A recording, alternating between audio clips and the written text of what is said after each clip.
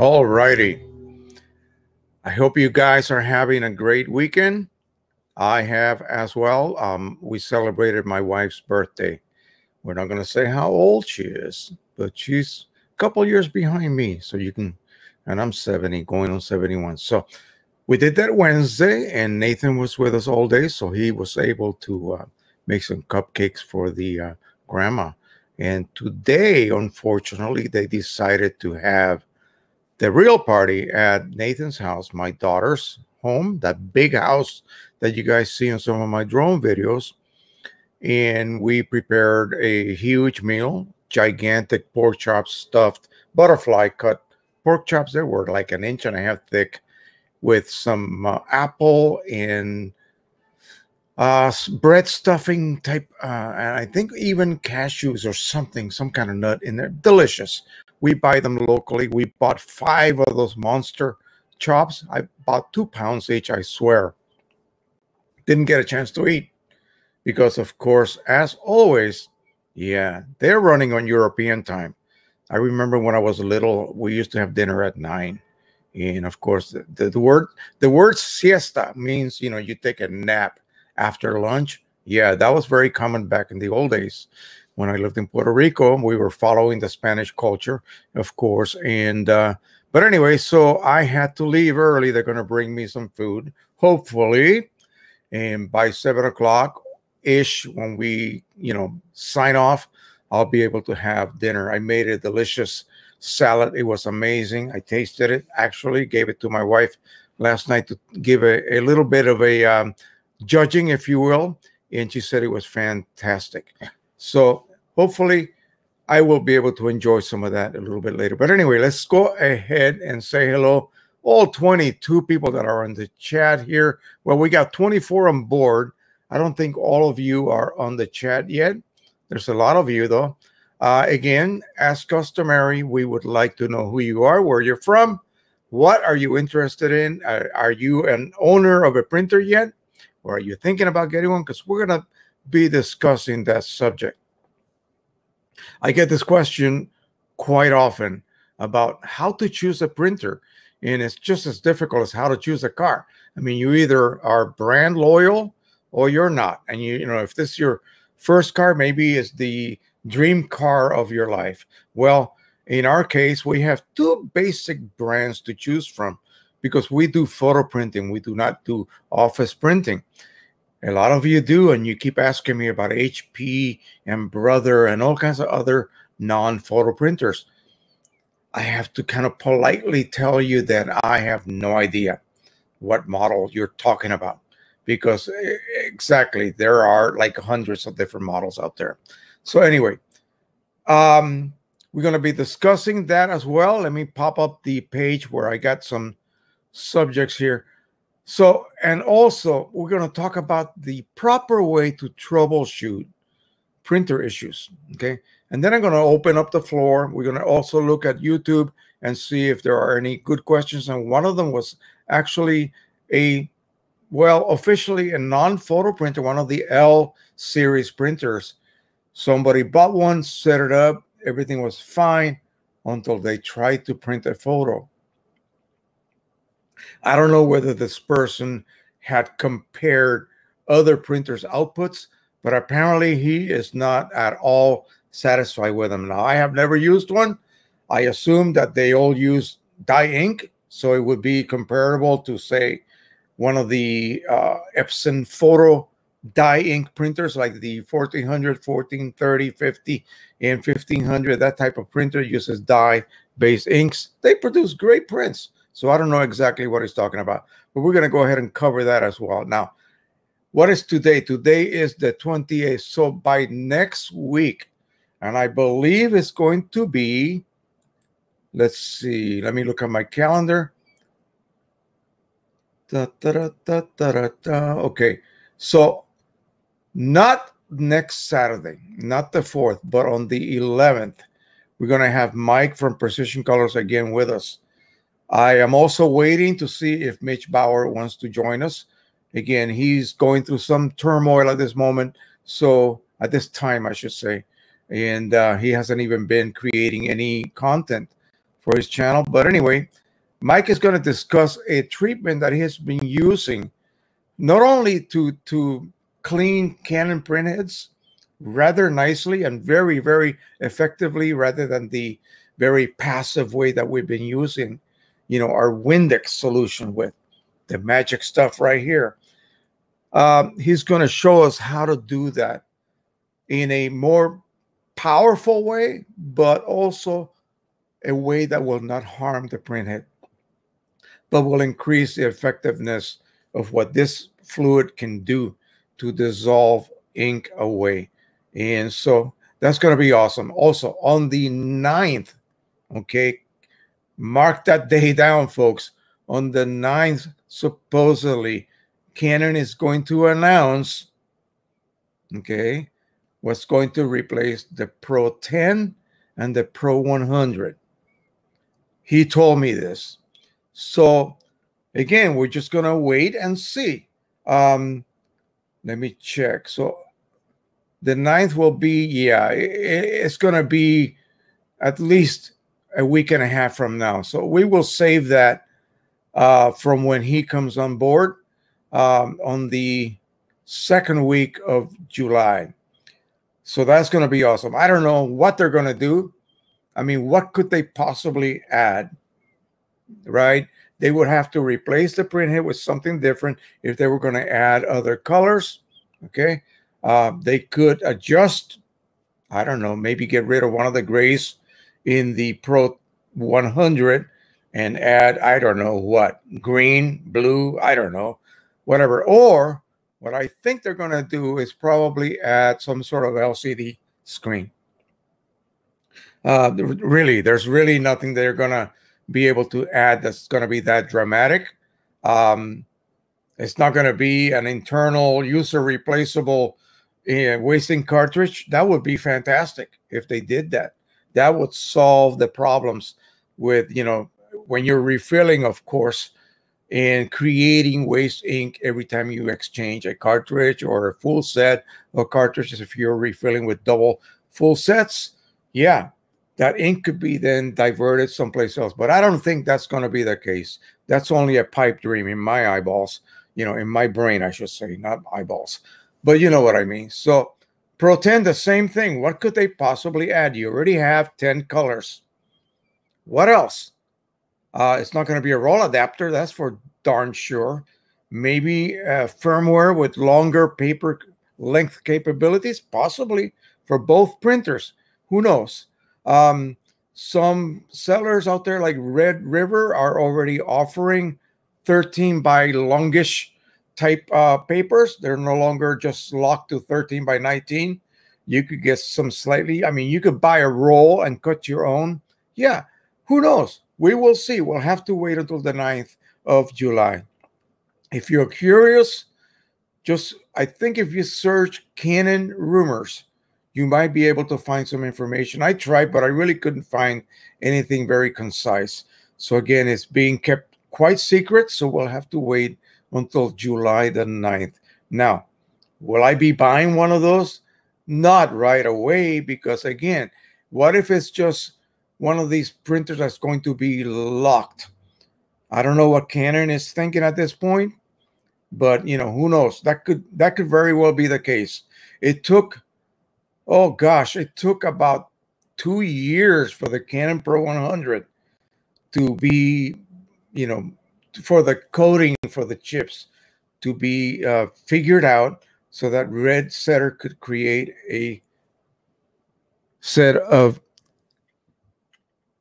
chip resetters. Same thing went for the Pro 10. So we don't know. But it's good news. I hope it's something really dramatic. And if it is, then yeah, I would consider buying one. We'll see what kind of rebates these companies are you know willing to offer. Uh, I think, and I got told by Mike a very interesting theory behind that, uh, behind that rebate reason. If you guys go back, if you if you just started just a little while ago, then you have no clue what actually went on when that Pro 100 came out or originally. So you got to go back to Nikon and Canon DSLRs. So the Nikon, I forget the terminology. Maybe one of you techie types can tell me, but their sensor was different before. And so Canon cameras had a, a um, CMOS sensor. I forget what the what the Nikon sensors were. And I got a couple of old D, I got a D70 that used that type of sensor before they switched over to the CMOS. There was also a C40 before that a D40, I'm sorry. So in order for you to then get a printer, Canon wanted you to let me let me rephrase that. A Nikon camera had the older sensor, which didn't really come up to par with the Canon CMOS sensor. So Canon wanted people to buy their camera rather than a Nikon or Nikon. And so they offered you a free printer. That's what I remember to this day. That's how I was able to acquire three Pro 100s. I bought them for a hundred bucks each locally here on Craigslist. And these came from people who bought a camera and were just given a free printer with a free box of paper. They had no no wish to ever print anything. They did not. They didn't care at all about printing. So they put their printers up to, for grabs on Craigslist, which, of course, I went ahead and grabbed one, and then two, and then three. So that's it. Does that mean there's going to be rebates? I highly doubt it. That's why right now you barely, barely ever find any rebates on those printers. Let me go ahead and close this welcome um, before I forget to do it. And I'm going to load the next piece of graphics that I have here. We're going to talk about that a little bit later on. Just want to have it ready. All right. Let's say howdy to everybody. Peter is here from Copenhagen. Uh, Bernhard Moore from Southington, Connecticut, Pivotal Press. And he says, Hello, Jose. Let me go ahead and post these as I go along. He's from Texas. Third Eye View is here. He's also a drone flyer. So welcome. Bernhard says Spain is using drones to monitor beach crowding. Well, yeah, uh, that's probably not the only country either. Don't know how legal that is, um, but you know, I'm not here to argue either side. I gotta stay neutral with that one. Sebastian Kloon from Germany. My wife is from the Black Forest region. That's where her people came from. Mine came from Spain, about and like 12 other countries. Yeah. She's German and Cornish. Charles Verbruggen is here from Antwerp. And Charles, okay, again. Jeff Thompson, Louisiana. Or Louisiana, yes. E. Marsry or Marsry from the UK. Welcome. I'm I'm recognizing a few people that I have never uh, seen here before, so that's awesome. Chris Bell, the PC technician, is here. Hey, tell me what kind of sensor the uh, Nikon's used to use. You should know that. Michael McLean from the foothills of the Alaska Range. Oh God, yeah, that's that's a beautiful country up there, but a little too chilly for me, man just a bit. Luke Poe from Montreal, Canada. Let's talk horizontal banding. Yeah, we're to get to that in a second, my friend. James Paula, hello from St. Augustine, Florida. And he's using a Pro 10. Love that place. Next time I go to Florida with uh, Disney being sort of in a weird situation, because that's, as you can see, that's all we do when we go to Florida, besides visiting my family members down there. Um, yeah, we're gonna go to St. Augustine. I told my wife, uh, let's go there, let's spend the night and see everything because half the time we go, it's always with other people who are always on a hurry, and you don't get a chance to see anything. Okay, Shro Evers Photography. I got it. I think I got it. Congratulations. I don't know for what, but thank you anyway. Uh, we're doing really well on the YouTube channel 33,000, almost 33,500, almost. In a couple of days, we'll, we'll exceed that. Eddie Lagos, does pigment based ink last longer than dye based ink? Absolutely does. We're going to go back and, and, and go over some of these, uh, including the banding issue. Charles Calderon, Herman, where did I get Charles from? Herman Calderon from Los Angeles, starring starting with a XP 15,000. That is the expression 15,000 model. I'm not too familiar with that one, my friend, but um, the problem that I have heard with that one is that I don't think it's being supported at this point with like a refillable system with auto reset chips and that sort of thing. They may come up with single use chips. I haven't really kept track on that because it's just not a priority for me at this time. But yeah, um, great printer is just not going to give you many options for um, third party products. Harold Goldberg from sunny Richmond. It was beautiful here as well. He's got a Pro 100. Today was gorgeous. The sky was fantastic looking. I should have flown today and taken some uh, shots with my Anafi looking up at the sky. Um, bad, bad thunderstorms last night, but uh, they went through rather quickly. 1066 internet from Hastings, the UK. Glad to have you once again. Some of you guys know who the regulars are. Eddie Lagos is from California, Canon Pro 100.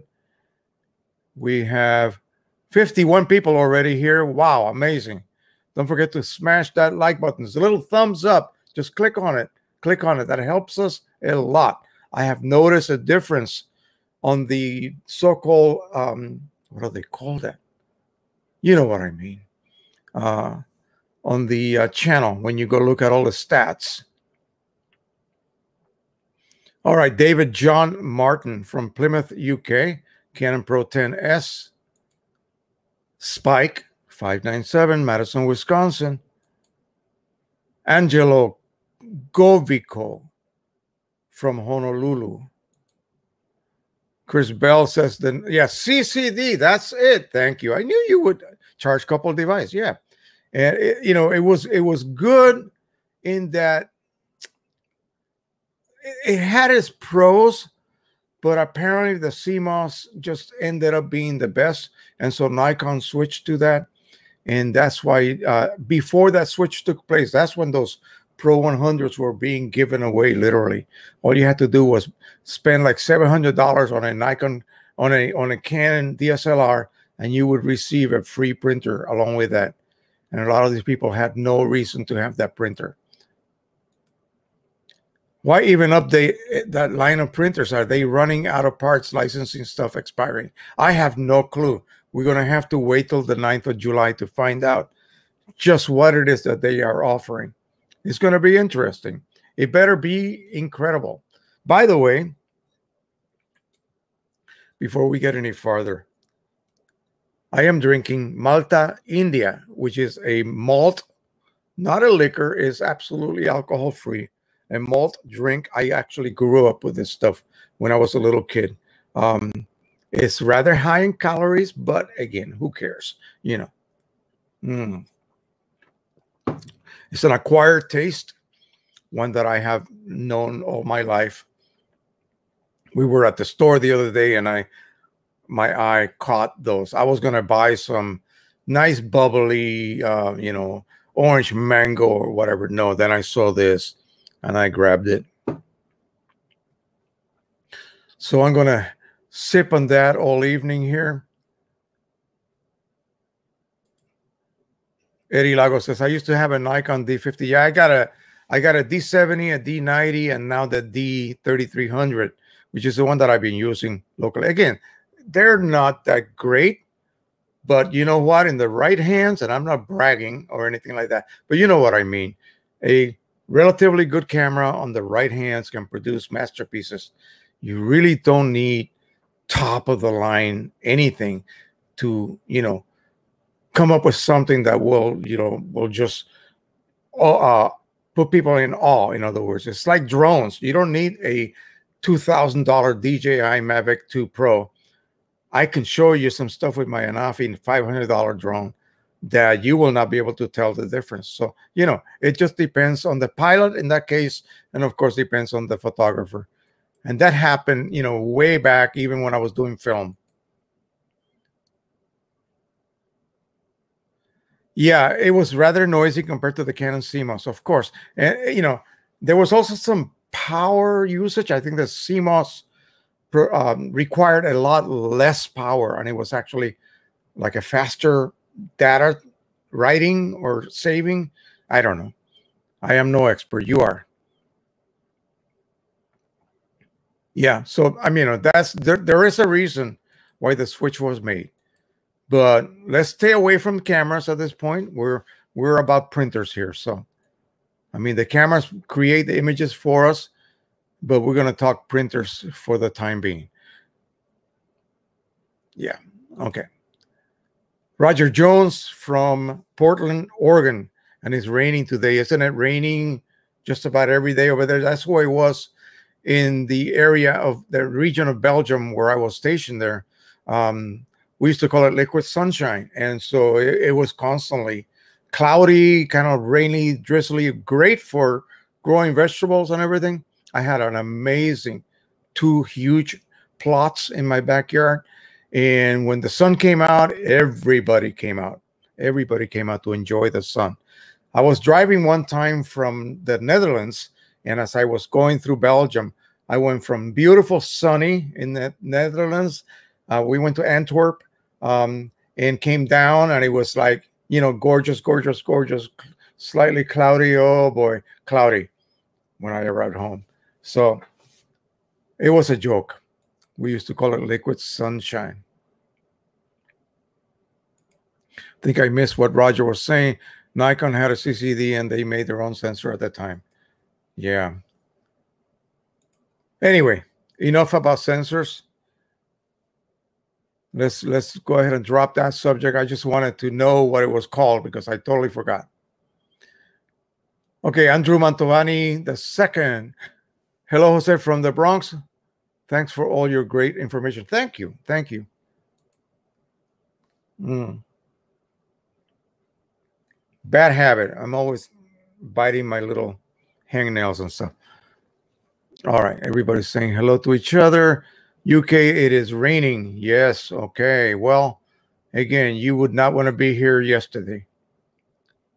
It was nuts. What canvas settings are you using for the Pro 100 when you are doing it? Uh, are you using matte canvas or glossy? Well, for the Pro 100, I would suggest you use a glossy canvas or a luster type canvas. And you can find those. They're very good. They print wonderfully on the Pro 100. Loading can be an issue. But other than that, uh, you know, it'll print just great. Um, I just, re speaking of canvas, I just recently finished my roll, my sample roll that I got from Breathing Color. It's called Lyve L-Y-V-E canvas, and it is a matte surface canvas. Although I believe they also have a a um, glossy or luster canvas. And I finally found their profile. And let me tell you, I know that you guys may have seen my video where I was actually demonstrating the use of that canvas. I just finished the beginning of my project. I'm going to go ahead and this is, of course, canvas, as you can see, very flexible. But this is my my image that I have been trying to push all of this time. Some of you may actually own a print. Um, simply put, it is an outdoor cafe in our state's capital, Annapolis. And I turned it into a painting. And if you guys go look at my last video, the one that I uploaded yesterday, actually was published yesterday, uh, using Qimage Ultimate, and showing one of the features that I absolutely love, which is the ability to save a job with every aspect of the job layout, print size, paper size, image cropping, you name it, printer settings, whether you let the driver control color, where you let, you know, Qimage control color, it automatically turns off driver control. When you do that, by the way, it's just like a Mac, except in Windows and then you save it and you call it Jose's job. You know, uh, what's today? 628 2020. And then five years from now, assuming I still have that same printer, hopefully, I can go back and, and just open up that job. And as long as my files that I use, whether they were in separate drives, separate folders, it doesn't really matter. But the whole job will be reloaded. So I demonstrated that. It's just one of the features I absolutely just love. It's worth that alone for that reason alone. So, um, that job is saved. I can go back. I can open up that same image. Okay, as long as I have that drive connected to my computer, and it will pull it. It will then apply the profile that I downloaded from from Breathing Color. I finally found it, and yeah, it makes a world of a difference. The print that I did with the uh, Epson canvas profile basically came out a tad too dark. Okay, this one is just perfect. I can see every detail on the shadow areas of the fake painting because I took the image and transformed it into a oil painting per se. And then, of course, printed on canvas. There you go. So now the next step is going to be for me to adhere that to a piece of 16 by 20 masonite.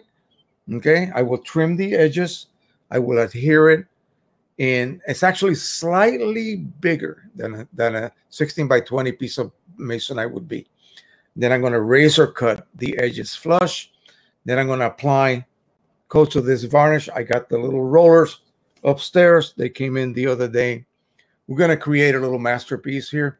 And then I'm going to buy me a really nice fine frame, one that would be suitable for, you know, uh, mounting a oil painting, the old fashioned you know, canvas stretched oil paintings, except this is going to be mounted on masonite, simply just like a, a canvas board would be, in which is what I always used when I was a kid, when I was painting with oils.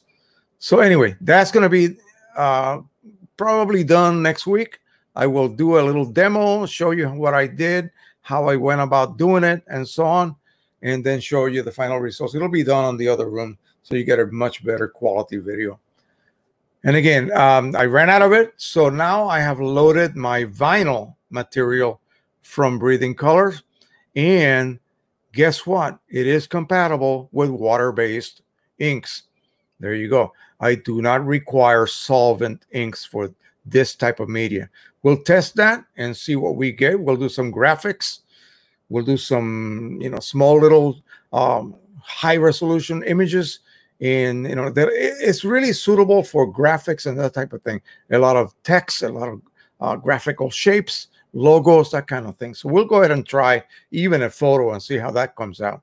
We'll be using qimage for that because i can just load you know image after image after image and you know little ones big ones middle size whatever. It'll all be arranged perfectly to take advantage of all of the real estate of a particular size print.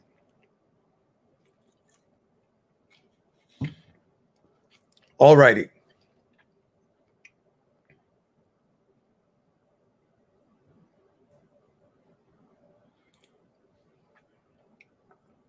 All right. So to go back to your question, Sebastian, um, Canon Pro 100 glossy or luster type canvas works beautifully. Matte canvas, like the one that I just showed you, no, that requires the use of a matte black ink, and it has to be pigment based. Uh, you you can get fairly good results. They're just going to be a little bit dull. Your blacks are just not going to be as deep as you might expect them to be. Okay, so you may not be um, very happy with the results. You might be disappointed. All righty. Chris Felicia, uh, or Felicia, I'm grateful that you put me in a link in every video you do. Thank you a million. I saw the Canon PFI. Oh, I know who you are. Okay, drum roll, everybody. Okay, this gentleman is the guy that you go to. And I went ahead and put mine back for especially you Pro 1000 owners who are refilling. Get those 700 milliliter cartridges. And if you're here in the States, again, the best bargain you will ever, ever get because you will be able to print with OEM inks. Now, let me let me just put it this way. Um, and now I got two people that I'm going to have to put against each other here. We got Chris, who's the original source of these cartridges. And then you got Precision Colors, who buys these cartridges from Chris, probably by the dozens. And then he bottles the ink and sells it to you guys for the Pro 1000 if you guys choose to go completely OEM. Well, you can get the ink from either source. Okay. It doesn't make a difference. If you get it from Chris, it's something like 225 and free shipping to the US. I haven't gone back to look at your site for quite a while, but I do have your link on my description so that people can then just go to you and order. I have purchased a few cartridges from you, the very important ones, which are yellow, blue, red. Okay, the magenta and the magenta and, and um, light magenta or photo magenta, the cyan and photo cyan are actually really, really good in the Precision Color Signature Edition. Okay, they really come up to par.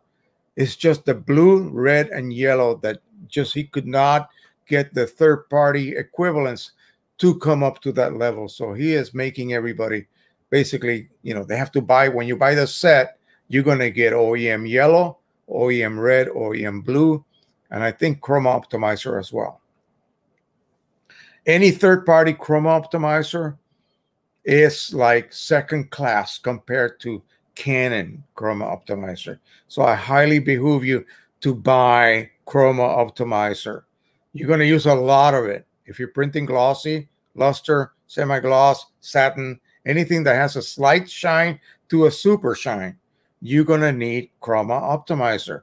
So you might as well get yourself a tank, in other words, a cartridge of 700 milliliters, because you're going to go through it like water. Okay, and that's that's the truth. All righty. Thanks for hopping in here, Chris. Glad to have you. Luke Poe says how to go over 10 years of life with an Epson 3880. Are you asking me or are you telling me that you have achieved that? Um, use it regularly. Uh, don't abuse it. Keep it nice and clean. Service it every every couple of months or so and it should last you a long time. Don't keep it in a super dry place. Don't keep it in a super hot, humid place. You know, average. If you're comfortable where you are, your printer will probably be comfortable as well. Okay. Let's talk banding because, well, not yet. Not yet. We got to, I just saw some people here just jump in. And Chris says, uh, first time live video so, Chris, let me ask you this, and see if you're willing to do this. Um, would you would you mind being a guest one of these weekends? You need a camera and a microphone, okay? And I provide you with a link, and you just jump in. If you do any kind of any kind of um, like right now, everybody's doing all of this uh, uh, Zoom and global communication or or what do they call it? Virtual communication on the computer with your kids and your family you should be able to join us. And then we can just talk about how you came about you know doing what you're doing now. And it'll be interesting for everybody because everybody wants to know how does this guy get this um, you know have a source of oem cartridges okay yeah it, is interesting and you can tell us about your background what did you do before this and so on it will be interesting for everybody Alrighty. Just a thought. Herman Calderon. By the way, folks, it is Herman, okay, not German. Herman Calderon. Refillable cartridges on the way with chipless firmware already installed on the XP 1500. Awesome. There you go. I knew something would come up. I knew something would come up. Awesome. Drone worship, watching your bebop playlist as we speak. All righty. ha. awesome, man. I got, you should see, uh, you need to see the Anafi videos with my grandson flying them. And he's, that little sucker is only eight years old. Okay. He flew the bebop, he flew the Anafi. He's a little rough yet, you know, but hey, those birds are so easy to fly. It's just a piece of cake for him and he is loving it, loving it, loving it. Eddie Lago says, I just printed an image at 475 ppi from Photoshop. Did my Canon Pro 100 actually lay down? Okay, let me explain that to you. This is a confusion everybody everybody experiences. Pixels per inch has nothing to do, okay? Remember, has nothing to do with dots per inch. Okay. Pixels per inch pertains to the resolution of your image, which is what? Pixel base. So you will have a vertical resolution, horizontal resolution, X and Y. A square pixel gets sent to the printer. Okay. Just imagine nothing but one little square pixel in your image, and that gets sent that gets sent to your printer. The driver, if it's a Canon printer, will adjust your original pixels per inch, whatever they may be, so that it becomes 300 pixels per inch, whether it has to up res or down res. Okay. An Epson printer will take your image and turn it into a 360 pixels per inch. Okay. Whether it was 435 or, or, you know, 298 per inch, it will turn it into a 360. 300 for Canon, 360 for Epson. Is Epson better? No, you will not see the difference. I'm telling you. Now, the printer will take one pixel and either print it with maybe one or two or three or four large dots because printers have variable droplet size technology from like 1.5 picoliter droplet size to eight. Okay, those are some pretty big drops. If you have an area that is pure red with no graduations of tone, it's just one tone, it will use a large drop. It doesn't need to create thousands of little tiny drops when large drops will produce the same results. Okay, on areas of detail, it will use variables droplet size to be able to create those fine details that you want. So one pixel may require maybe four dots or it may require 16 dots of ink, depending what color that pixel happens to be, what density value it has, and how many colors do you have in your printer. Most printers, no more than nine. Epson, you know, um, Epson P800, nine colors. You're using actually eight. The newer versions will have 10. Okay. But you're using really, you really using, you know, nine colors because one of the blacks will not be used. It's either matte black or, or photo black. So you get what I mean. Pro 1000, 11 colors. Yeah, you have 12, but you will use 11 because, again, it's either matte black or photo black. So you cannot use both blacks. So it will have to take your very, very small number of colors and then mix little tiny dots, as many as it requires, to create one single pixel, little dot on your on your print. One dot may may may need 16 droplets of ink. So do not confuse, and I don't mean to be mean or anything like that or being a smartass and you know I know every, no DPI dots per inch. That is printer resolution. That's the value that you see when you choose a different quality. Okay, it's the number of dots that will be laid down to create one pixel, two pixels, a hundred pixels, a thousand pixels, four thousand pixels, whatever, whatever the pixel resolution of the image. It's always going to be either 300 per inch for Canon or 360 per inch if it's Epson. Okay, the driver does that. Qimage does an even better job.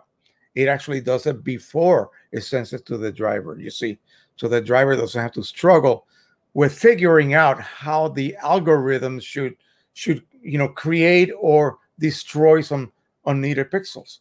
Because if you have an overabundance of pixels exceeding 360 or 300, it's going to bring it down to that proper so-called optical resolution of the printer. No, native resolution of the printer. So the Canon wants 300 and the Epson wants 360 per inch. But that has nothing to do with the number of dots. Okay, nothing to do. DPI, use the term correctly. Dots per inch, pixels per inch. Pixels per inch is from the camera. Dots per inch is from the printer. Okay, it could be very few dots per inch or a lot of dots per inch. It has no it has no no difference on the number of pixels that make up a certain image element. Okay, all right. I hope that's clear. It's a little confusing. Took me a while to get it years ago when I was going through all of this, just like you all are now. It took me forever to learn this. But again, so to answer your question, after I long winded myself to death here, yeah, the Canon Pro 100 will lay whatever resolution, either going to be 300, 600, 1200. That's it. Or what is it? Uh, 2400. And that's not really 2400 dots. It's actually laying dots on top of other existing previously printed dots. Okay. It cannot just by raw printing create 2400 dots, but it's always in that type of sequence 300, actually 180, 300, no, 150, 300, 600, 1200, 2400. And when you get to 2400, that highest resolution is actually going to overlay dots where the paper is going to advance very little and it's going to it's going to print over those previously laid down dots even more tiny dots and more tiny dots and more tiny dots until it reaches an approximate resolution of 2400 dots per linear inch or, or square inch of print. It's difficult. Don't worry about that. Just load your images. You don't have to pre-size them. You don't have to pre-do anything.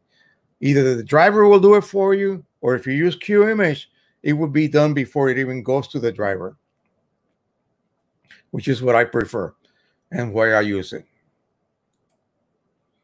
We're not going to forget about banding. Okay, don't don't don't don't remind me to not go off on some tangent and not not cover this banding business.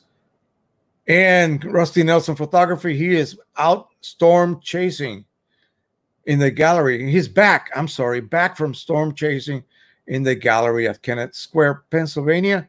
He's got an Evo 2 Pro, which is a drone, by the way, with an incredible camera. Uh, Pro 1000 and a Pro 4000. I hate that guy. I tell you. No, I love you. Love you to death, man. Drone worship. Most of us in CMOS for FPV drone because it allows us to run a faster connection almost instantaneously. Uh, what you see is what you get. However, the quality is degraded. David John Martin, I have gone over to Olympus from Nikon, not for quality, but size and weight. I think I opened up a Pandora's box. We got to talking about cameras now, and I really don't want to go down that that road. Uh, let's stick with printers, folks. I have done over Olympus. Yeah, okay. I think he posted that twice. Angelo Govico.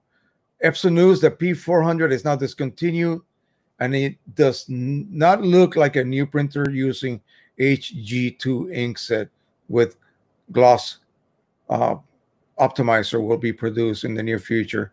The 700 is advertised as a as its replacement on Epson's page. Wow, wow, that's amazing. Actually, you know, mm, that's sad to hear. I like that family of printers. I really do. I have an R2000, which is the predecessor to the P400. I got ink coming out of my armpits. Yeah. I wasn't going to say the other word.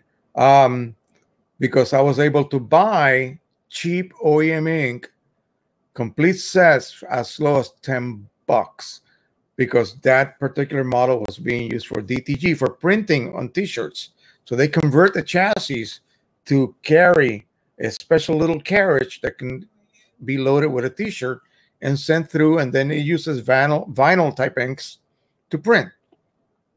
They needed lots of printers that way because the print has just basically uh, succumbed to the vinyl inks and so they constantly have to be replaced. Yeah expenses. I hope they're selling a ton of t-shirts. And so they had no use for all of these inks that they were pulling out of the brand new boxes of these print printers that they were basically just using to rip the printheads out of them. Yeah, imagine that. Uh, they have done that with a few other families of Epson printers, and those inks have been made available to the consumer at super super low prices. Oh boy, actually, that that printer you know produced really great results. I need to revive mine. Mine has been sitting for quite a while. I got to load a set of inks and just connect it to my computer again and uh, get it going again. Uh, wonderful for color glossy prints. Man, not so good for black and white because or monochrome because it lacked gray inks. It did have a no switch valve for your matte black and your photo black because it was eight colors and you had an eight channel printed. So again, no need to switch.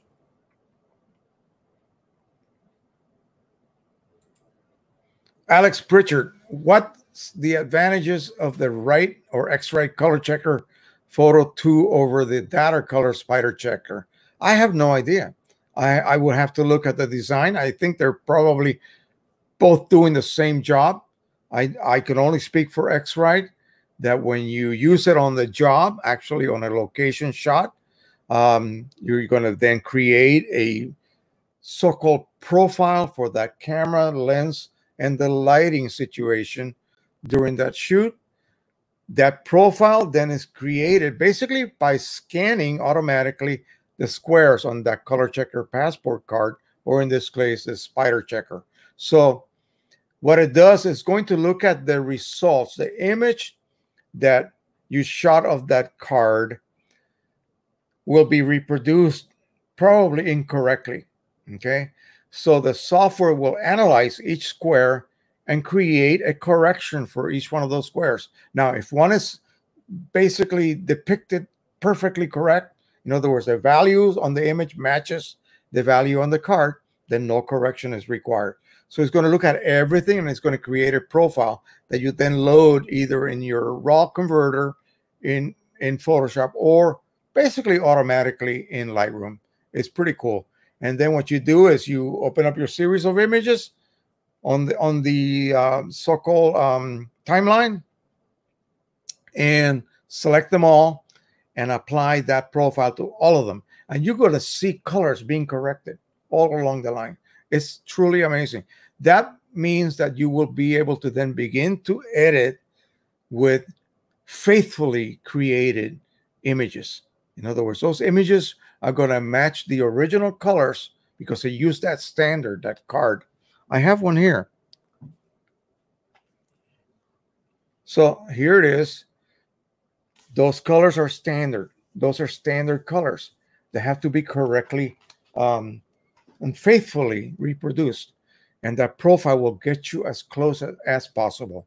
That way, once you apply it to that whole shoot, as long as your lighting conditions didn't change, or you didn't change cameras, or you didn't change to another lens, yeah, that will have an effect. Well, it will. What it's doing it is correcting for any kind of bias that the lens might introduce. Some lenses, they don't really project a perfectly neutral image. It might be, it might be slightly off here and there, almost imperceptible, but it will correct for that. Now, the sensors, on the other hand, can impart some inaccuracies to some of these colors. So you're using this standard to create an image, and that image is going to be the source for the software to then create a profile, which will include all necessary corrections. Okay, whatever was off, it will correct that. That will be applied to your images. Boom, now they're perfect. Perfect. Now you can change your images whichever way you want. And uh, you can be assured that what you see on your screen without any kind of influence from you yet is about as perfect as you can possibly create. So that's why. Now, how different is X-Rite compared to, you know, Spyder? All I can say is that X-Rite is the industry standard. Just like DJI drones are the industry standard, whether we like it or not. They're the, they're the, the big dog, okay? And so is X-Rite. So is Adobe, okay? Yeah. All right, Roger Jones, proud owner of a P800.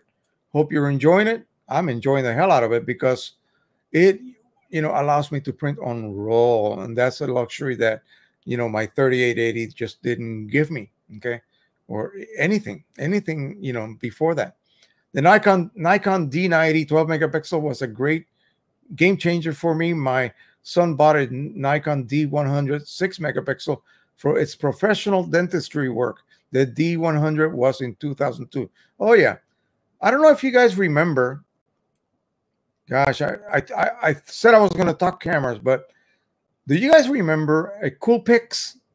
It had a swivelable a swivel lens. We had one of those at work. 3.3 megapixel. Woo! Man, we thought that was the bee's knee. Okay, Bernhard Moore, converting from CCD to CMOS required all new lenses after a new long hiatus. I recently bought a Nikon D500 to use my old lenses. Mostly, I use my Android for photos. It's always in my pocket. Yeah, true. I've been shooting a lot of pictures with my phone. How did you turn your beautiful picture into painting? Some special program? Actually, no. In the olden days, and this is a quite an old image, Photoshop had a, a plugin called Artist that's it. And they had oil painting, it had watercolor, it had pencil, it had all kinds of, I don't know what happened to it. They got rid of it. And so there are some standalone programs that you can use. I just don't remember what they were called. But yeah, it just requires software. But it does a beautiful job. Beautiful job. Is the Canon Pro 10 canvas setting using matte or photo black? It depends. It depends what you ask it to use. If it's matte canvas, you will probably have to use the fine art setting to trigger the use of uh, matte black ink. If you use uh, matte paper, it's just going to think you have common matte paper. It will use photo black instead of matte black anyway. So yeah, not as good. So you need to use the fine art media setting and then choose canvas within it. And then it will trigger the use of matte black ink. Otherwise, it's just going to look kind of dull.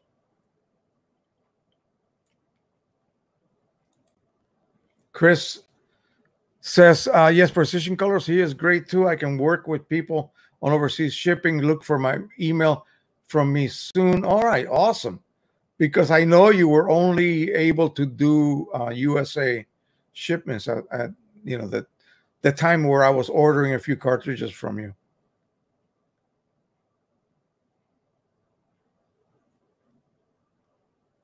What is PG photo gray? Oh, yeah, I could uh, definitely, absolutely. You have my address. I hope I could definitely do a video on that because that's a a uh, a grade that is very difficult to get otherwise. Okay, even though the third party gray, that particular gray is actually quite good.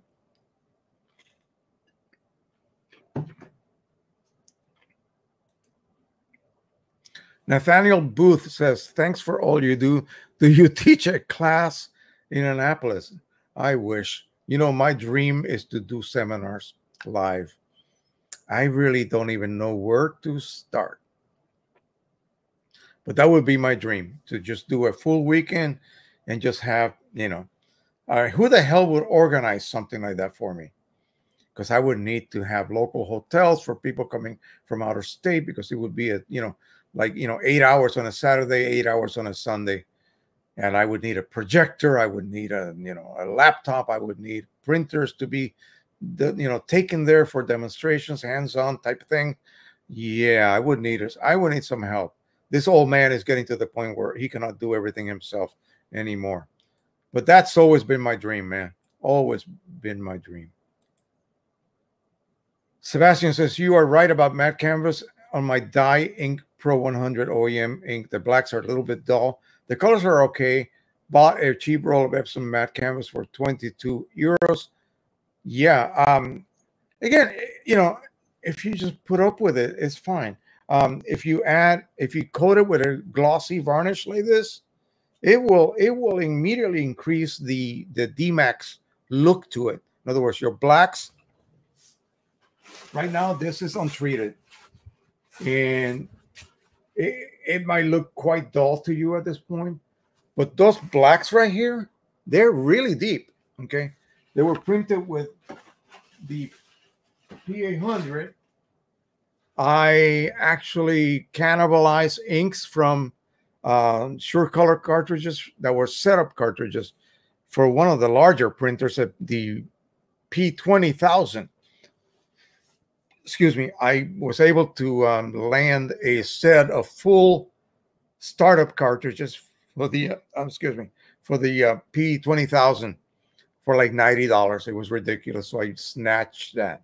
I got it. I actually bid it, bid a lot more than I would have wanted to pay because I knew what it was worth. And people just kind of stopped bidding and I got it for 90. So I am using that ink. It was 110 milliliters of ink, so I was able to load my refillable cartridges with with that ink, and then I have like you know what 30 milliliters left, so that's good. But anyway, yeah, that ink allows me to print with OEM on my P800.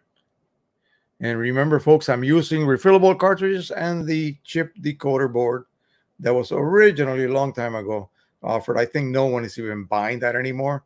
Um, it just seems to be a very expensive option.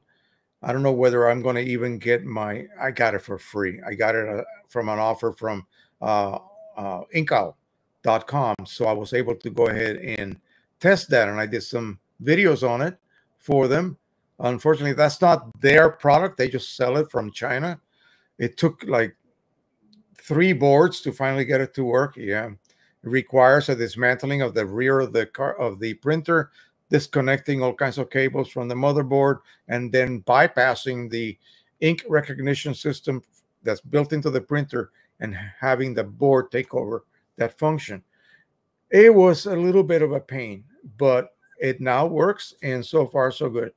So even though I've been printing regularly, I haven't even brought those ink levels down to and nowhere near where I would have to press the reset button. Yeah, we'll we'll reach that point someday. Pro 1000 uh, current situation. I have about five cartridges that are now color cartridges that are now nearing empty. We will test that again to see if they reset or do not. I have single-use chips waiting on the aisles in case it you know it fails. And so we again, it's a crapshoot. Um, with the Pro 1000 right now, the only option is those single-use chips, and supposedly some newer chips that came out that claim they will work auto reset. They will work, including with the new firmware. Again, who believes any of that stuff?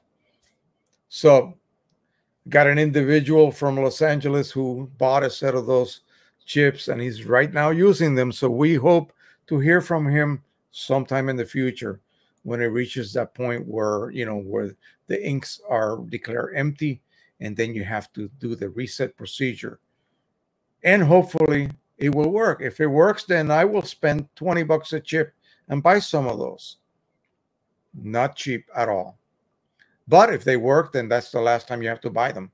Sebastian Klun says, okay, I think I read that already. 1066 internet, 360 PPI times 8 inks equals, yeah. Well, eh, not necessarily. It's not because of the 8 inks, okay? Um, you could be printing with um, you know less than that i mean it's going to uh, well let's just let me backtrack if you're printing monochrome and you're using something like um, advanced black and white it's going to use mostly your blacks grays and a little bit of the yellow magenta hardly any of the cyan unless you're purposely toning your image. But i think that makes sense okay uh, it does to me. The math the math doesn't lie. But i think it's a lot deeper than just that okay? Um, it's also the overlapping, the quality settings you choose, whatever. Yeah, it's it can be a hair puller. Yeah, and I don't have any hair to pull. Tango Armin is here from Germany, I believe. Uh, hello, and improving my photography class via Zoom. I started them being impressed with your YouTube activities, giving useful information and a real human contact. Great answer to modern times. Thank you. Thank you. I hope you're doing okay and stay safe, my friend. I hope uh, this is over soon sometime. It's got to stop. Okay. That's it. The Cool Coolpix 9000 and 950 with the swivel lens camera. Those were great little cameras.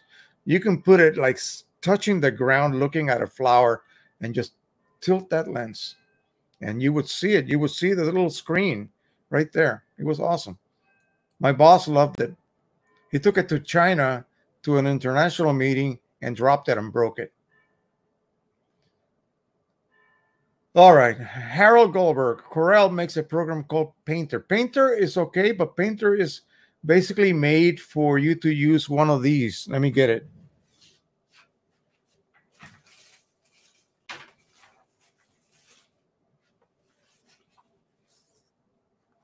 This way. One of these uh, tablets, you use a stylus and you can paint. You can actually, they're pressure sensitive styluses and you can actually create your own painting. I, if I was that good, I would do it manually over overlaying over an image. You could do this. A lot of people that do that, they put the original image, they overlay a, a layer blank, and they literally paint using these digital brushes and using a pressure sensitive tablet like I have. And but no, what I used was just automatically applied. You have some adjustments and parameters like the stroke sizes, the, the or resolution of the strokes. In other words, how how broad or how fine the little brush strokes would be, and so on. It was a lot of fun.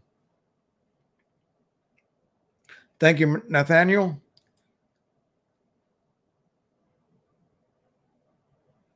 Topaz, okay, I'll look into that. I will look into that. Again, I think I think Adobe just got tired of it and you know sold the rights to someone else. I did. I did use it, but you know what? Um, the raw the raw converter really does a good job, especially even inside uh, Lightroom. Tafawa Hicks. I hope I'm pronouncing that correctly. If not, please forgive me. Not sure exactly what the term OEM. It just means original equipment manufacturer. Okay. So basically the original products. Just like Mopar for car parts. Yeah, manufacturer. What is it? Motor or something. I know. And you know, you know what I mean. Original parts. In other words, they're not third party products. Yeah, Corel Painter is good but it really helps if you have one of those one of those tablets. A lot of the artists uh, use them.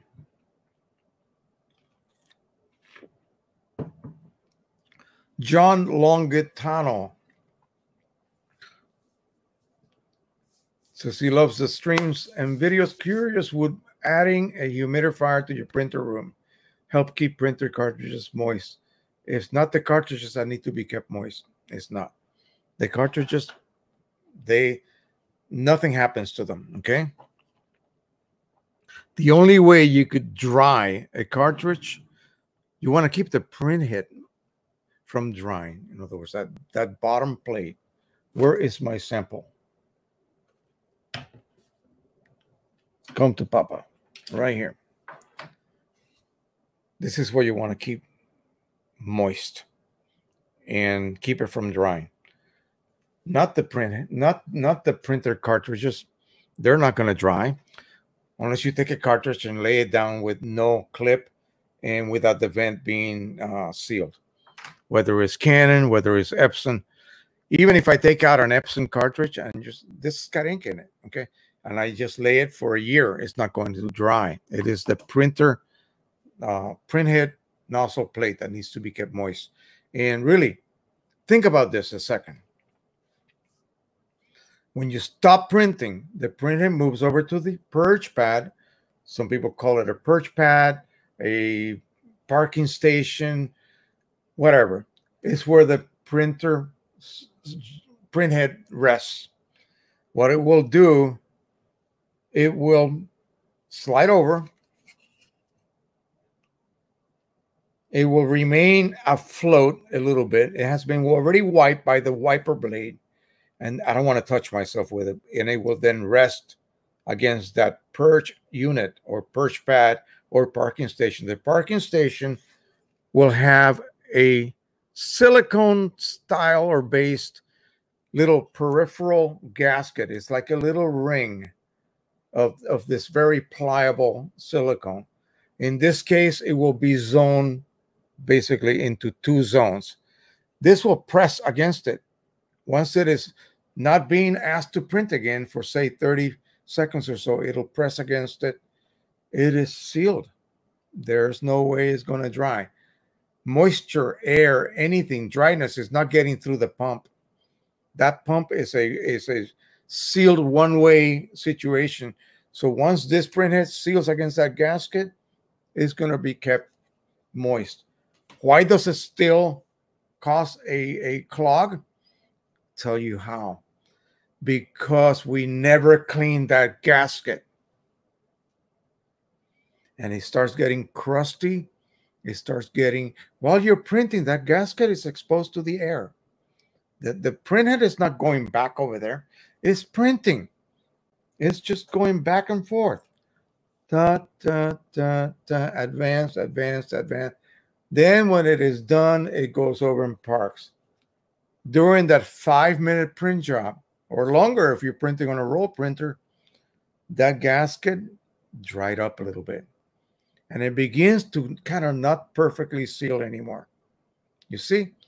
So it's not that the humidity is high or low. Of course, you don't want super high humidity or super low desert, you know, style humidity that will cause problems as you are printing, but not when the printer has rested and parked itself. In the old days, you had to power off the printer in order for it to park. Not now. That's why they used to have these auto shut off type things on your print. They still do. They're totally unnecessary. Only for those who they think they have to turn off their printer for whatever the reason. So yeah, moisture really it's not going to help you from from so-called clogs. You need to you still need to print okay? So the only way to stop clogging is to print okay? Don't try to circumvent the system by by coming up with you know all these other methods of preventing your printhead from drying. Printing is what prevents your printhead from drying okay? And also maintaining that gasket. And you can see it clearly so how to get to the gasket on a Canon printer? Um, you can do it. You know, it's going to waste some inks because of some of the in, you know, idiosyncrasies of Canon printers. But what you do is you power on the printer as the printer is checking itself. You know, it's going to check whether there's anything on the far left that's going to block its travel path. It's going to move from the locked position. It's going to unlock and move to the left. Pull the plug off the wall.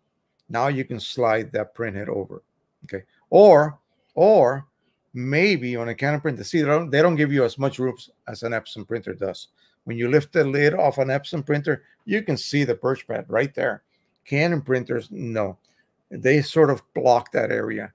But what you need to do is a long Q-tip, you know, a long swab, a little bit of Windex, and just wipe that little rim. Okay. Think of it as a, a, a little, I don't know, a little rectangular tray. And you take the top off and you got a rim on top. Just wipe that rim with that wet uh, swab. That's it. Every couple of months you do that. That will keep that gasket perfectly clean. If you don't do that, you will run into problems down the road because eventually enough gunk will build up where if you do get a clog, which you will, because now you're not sealing your print head, okay?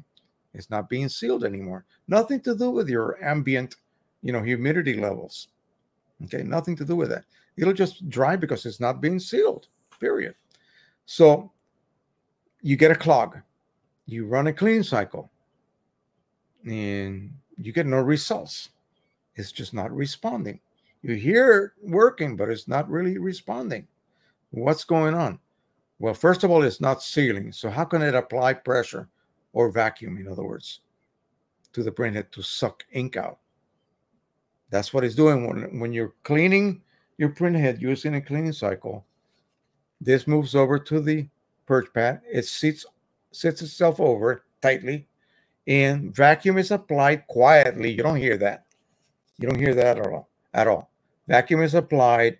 This detaches slightly, moves over to the left a little bit, and then you hear that pump kicking in, that whirling action and, and noise. That's what everybody associates with a cleaning cycle. That's when it's actually clean, clearing out the collected ink. But if you don't have a seal, you can apply all the vacuum you want and nothing will happen. So you, your cleaning cycle is totally ineffective. Why? Because the gasket is not sealing. Why? Because it's gunky, it's crusty, it cannot seal. It would be like trying to seal on top of sandpaper. You see what I mean? It has to be spanky clean, kept beautifully clean. And you do that every couple of months. Again, just start the printer up. Once the printer detaches, pull the plug. I want to go back to Canon. On Epson, nothing happens. When you put the plug back in, power the printer back on, nothing will happen. On a Canon printer, yeah, it'll run a clean cycle. Okay, so be aware of that. It will waste some ink.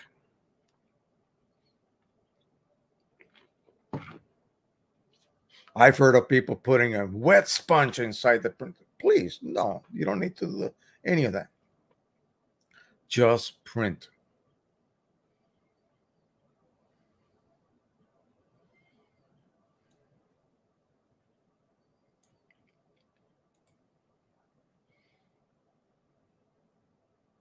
Yeah. Can you refill the P800 using PC inks and their tanks and have the pre P800 reset itself? No. You can refill it. It will work the first time. For those of you who don't know or haven't heard me say this repeatedly, okay, it's been covered a lot, but I know there's a lot of new people here. So the P800 uh, here in North America, North America, Canada, United States, and Mexico. It's locked. In other words, they have a special uh, firmware that prevents it from accepting the same chip, basically, is what it is. So I have a facsimile refillable Epson style cartridge here. So it has a chip. That chip has one unique code. All colors have their own unique code. So the code for yellow will be different than the code for black, the code for magenta, the code for cyan, and all the other grays and light versions of magenta and cyan. So all of the codes will be different. Every time you buy a cartridge, OEM, original manufacturers, uh, ink, each color will have a unique code, a different code. So you buy five yellows, you will have five unique codes, different. The printer wants to see every time you exchange a unique, different code from the previous one.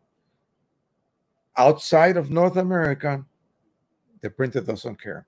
That particular firmware has not been locked. So you will then be able to reset this by simply removing it, fill it, put it back in. Once you reintroduce power to the chip, it resets the level up to full, not the ID code. The ID code remains the same, but the printer doesn't care. American printers, Canadian printers, and Mexican printers, in other words, all of North America, P800s do care. Okay, they don't want to see the same ID code for any given color, whether it has been reset or not. Okay, especially if the resetting, assuming it was successful, here's what happens. See, the printer remembers that let's just say this is this is photo black remembers that when my photo black went empty it was at the empty level and it had this code. And then I reset it and I put it back in. And now it seems, you know, it realizes, wait a minute, I have a cartridge here that it reads as full, but it couldn't possibly be because it's the same identical code it previously had. Okay, the code has not been changed. The code cannot be changed. It's read only. You can't write over it at all.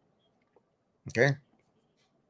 So you need an, a, a European or a you know, meant for Asia or Japan or any other country but North America. Long explanation. I hope that clear all of the aspects. Now, your choices are these.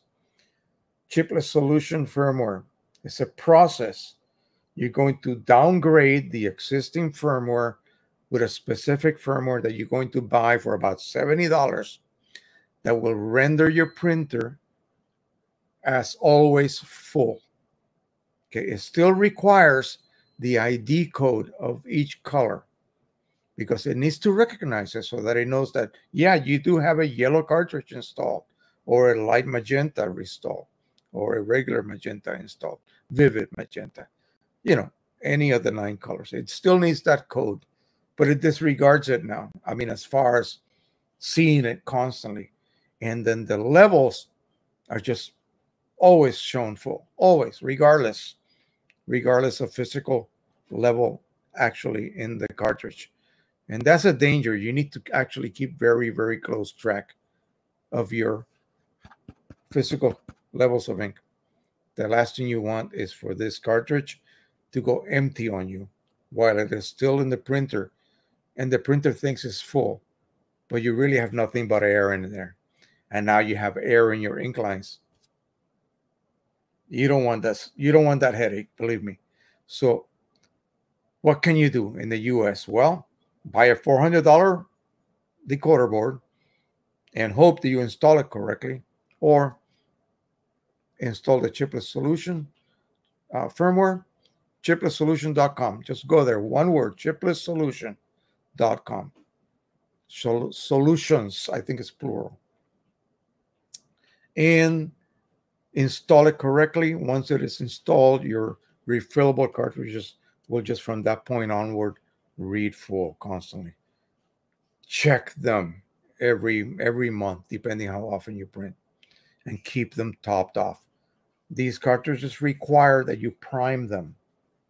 They require a priming session as you refill them, you know, from the beginning. Your virgin refill, you have to prime it. Otherwise, no ink is going to come out. It can't until you prime that last little chamber with ink. And it's done with a syringe. So anyway, yeah. And then from that point on, you got to constantly, constantly monitor your ink levels. Pain in the neck, sure. But you no longer have to worry about your, you know, P800 not um, recognizing your third-party inks. Yeah, at that point, you can use whatever inks you wish. Ink, you know, Inkjet Mall, Pre-PC, Ink Owl, uh, whatever, anything, any of the inks that are available out there.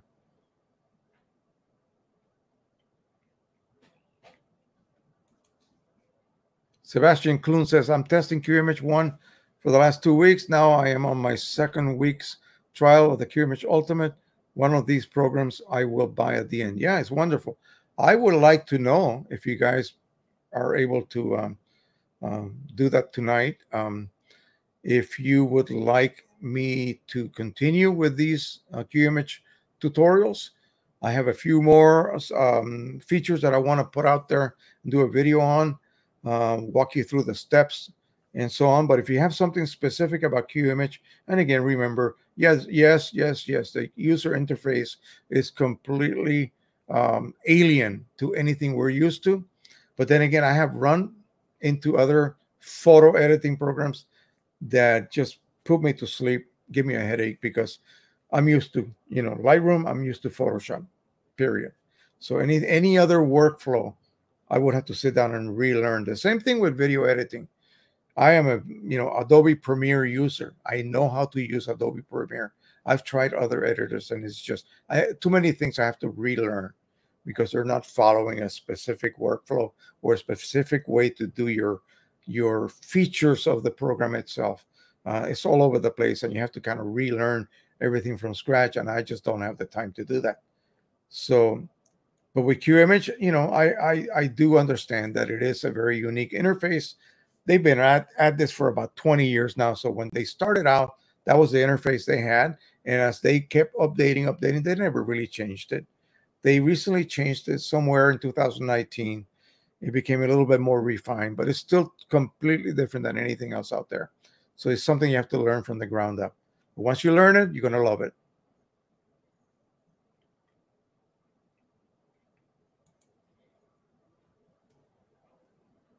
Yeah, US brand P800, you have to have some other option like the ones that I mentioned. Oh, wait a minute. Jonathan Raul. Raul. Uh, I print a lot of dark photo images on Strathmore matte inkjet cards. All right. Hope they hope they are printing well for you. I am using a pre-scored um, type of um, card media. I use Red Rivers. This particular one is Aurora Art White, which is a beautiful fine art paper. It is pre-scored. You just immediately fold it, and you just can print in the back or in the front. Uh, I create my own templates, and I'm able to um, just drop images right on the template and load the cartridge, the cartridge, the cards, and print them. And I can do that on the Pro 100, on the Pro 1000, the P800, whatever printer I, I want to print on. Uh, some printers, we be aware that some larger format printers, I believe they have a minimum size stock that you can actually feed through them.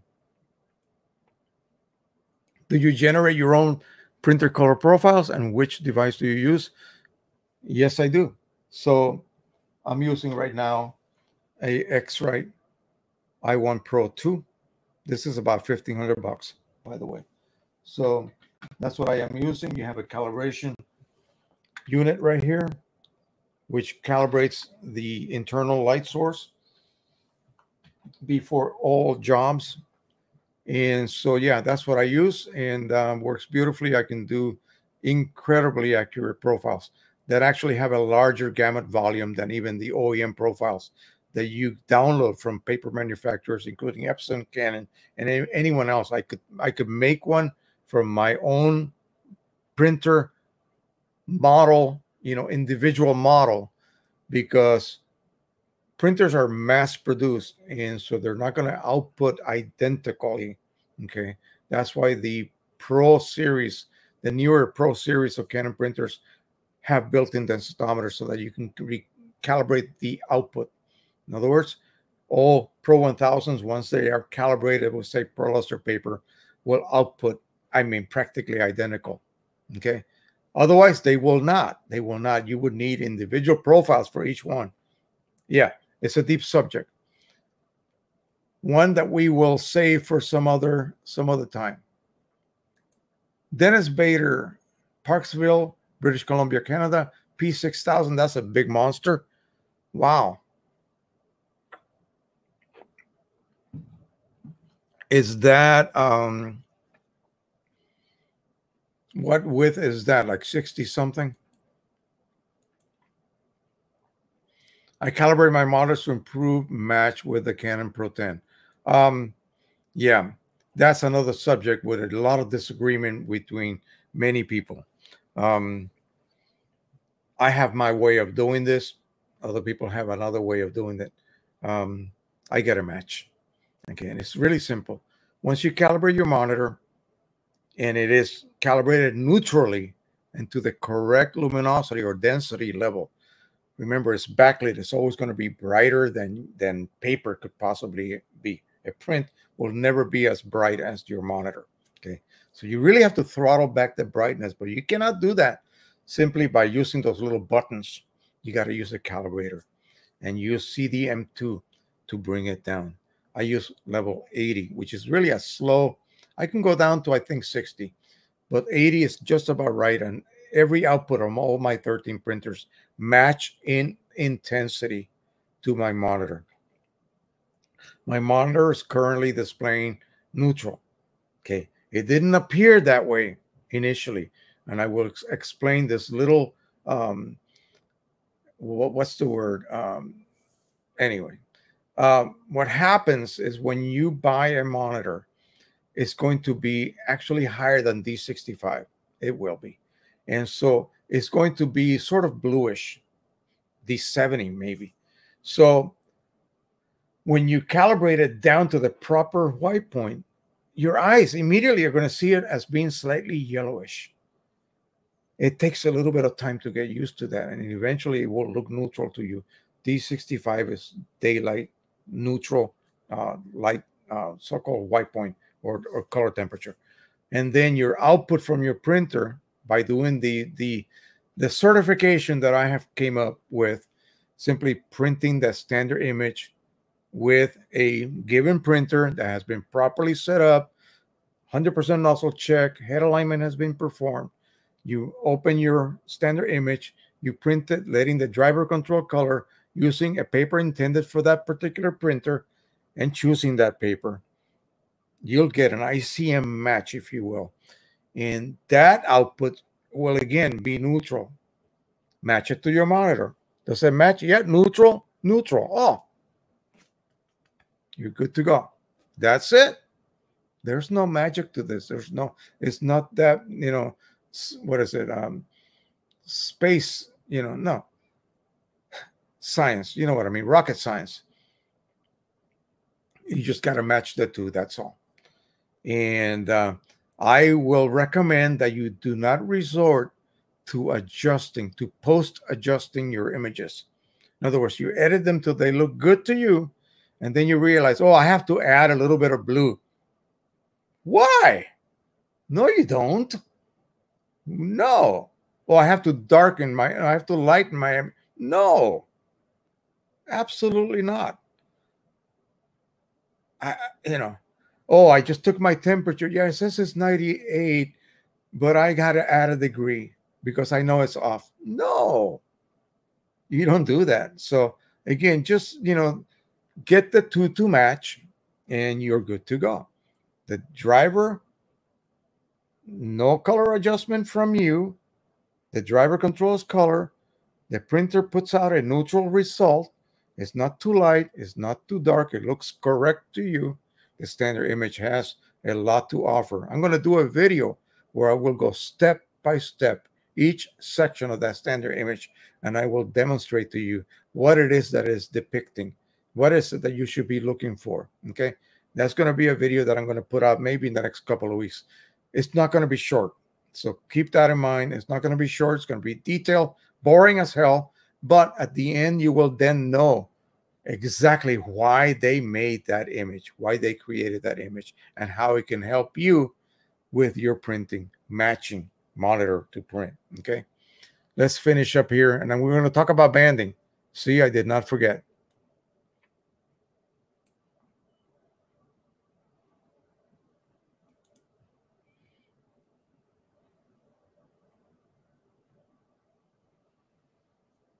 It seems like some BS that only North American models need third party circumvention like this. Well, hey, that's the situation we are in.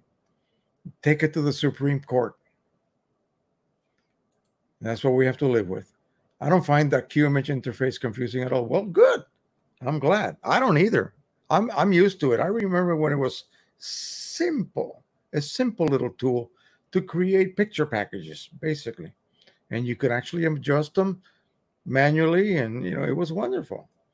And it still does that. It's just a hell of a lot more sophisticated now.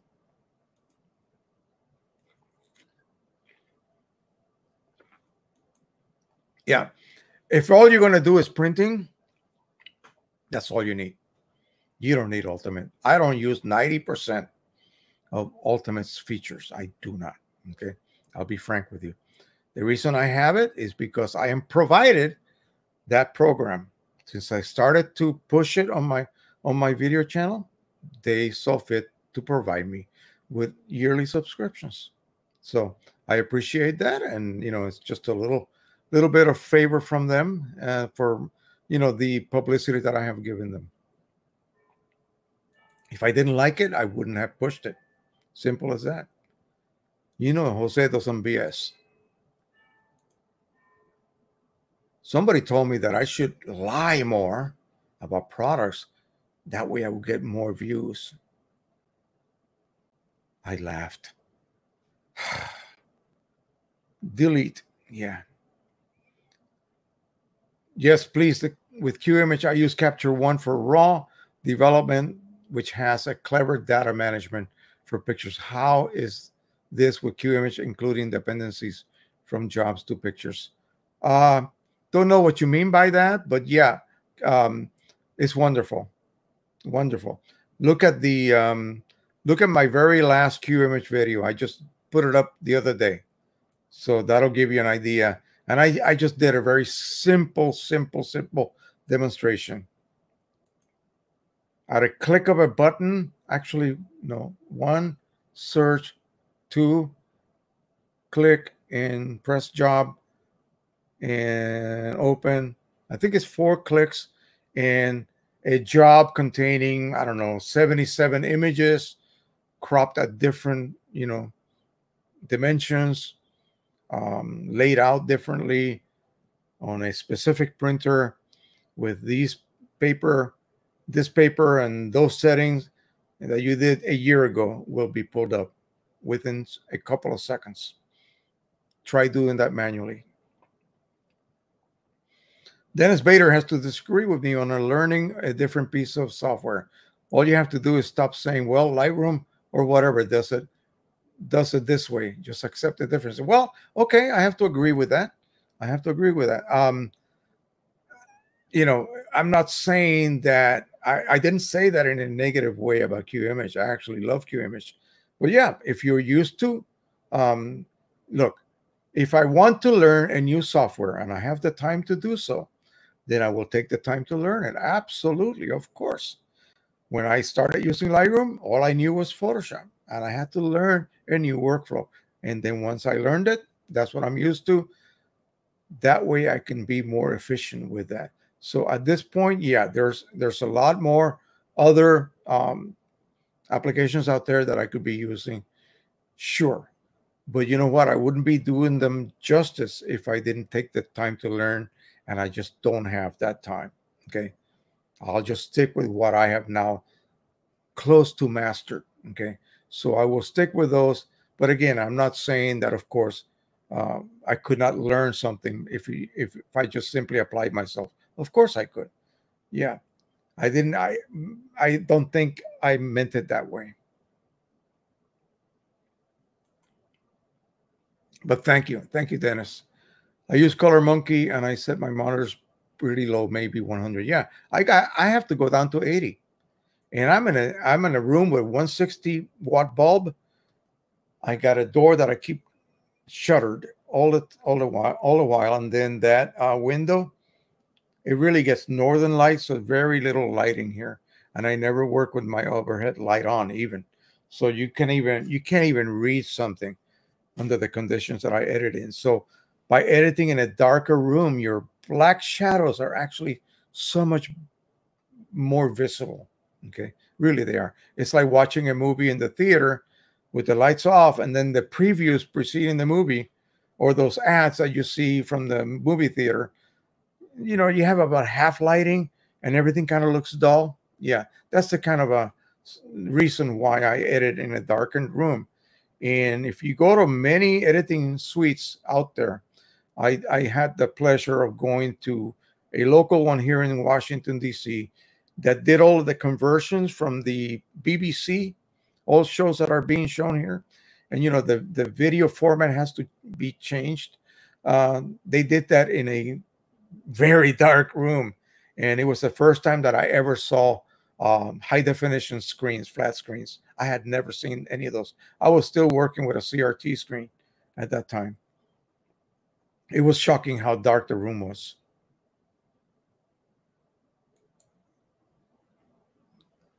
Jonathan Rawl says, looking for ICC profile for Strathmore matte ink jet card. We'll look at Red River offering for sure. They do offer profiles. Yes, yes, sir.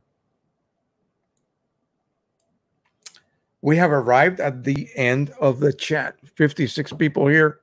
I don't know if anyone's keeping track on the lights. We've been on for an hour and 40 minutes. That's not counting the preview five minutes of music, letting you guys join us. So let's talk about banding. So, what can cause banding? Banding is what? What it sounds like. You don't have, if you were to print a just a, a neutral or single color, whatever, um, just one tone on a piece of paper. And it could be dark, it could be middle, it could be light. And you start seeing what looks like horizontal, light and darker, light and darker. That's banding. It could be mechanically created or caused. It could be due to nozzles, some nozzles not firing. It could be due to the head alignment not being properly done. In other words, the paper advance rate does not match to the pixel the amount of the width of the path of ink being laid down. Okay. So when those, any of those reasons, and it could be two reasons, two causes, it could be a transport problem as well. Somebody recently uh, showed me a picture containing a very dark area. They were printed on a specific type of matte canvas, and it did have this, this you know, it was supposed to be overall black shade, a very dark shade, but it showed these areas that were like slightly darker and slightly lighter.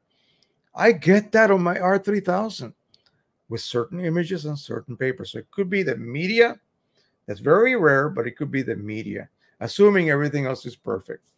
So if it's if it's banding and it's very regular, distinct banding, okay, and it's not like a band that's light and a band that's dark, but a bunch of little lines that look a little bit lighter, maybe a different shade of color, do a nozzle check.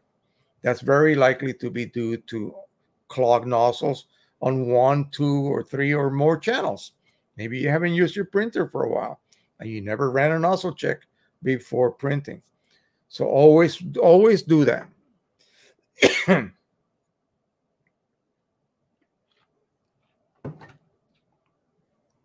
Your options are obvious. Nozzle check. Oh, oh, I see something.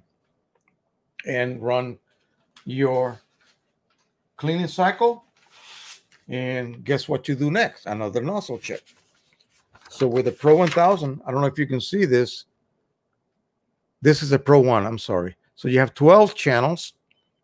And those horizontal bands, do I have this oriented right? Nope. Those horizontal bands do not have any streaks or any missing lines. It's just a homogeneous band of color. That means my Pro 1, whenever I ran this nozzle check, is printing at 100%. So banding that I might see is certainly not related to nozzles not firing. It's got to be some other source. Now, head alignment, again, that's, oh, also, let me show you the Pro 1000 nozzle check. It's hard to see, but those are little vertical and horizontal lines creating little crisscross pattern. There is nothing missing anywhere. And you see those vertical black bands? They're all identical in color. Okay. That's a perfect nozzle check. So any banding I might be seeing in my Pro 1000 is not due to a channel or two or three not having a 100% working nozzles. Okay. So again, like I said, if, if you immediately see nozzles missing, run a clean cycle, nozzle check, and then compare the two. Oh, now it's firing at 100. I guarantee you, when you print your next image, it will not be banding on you. Okay. Now, what about head alignment?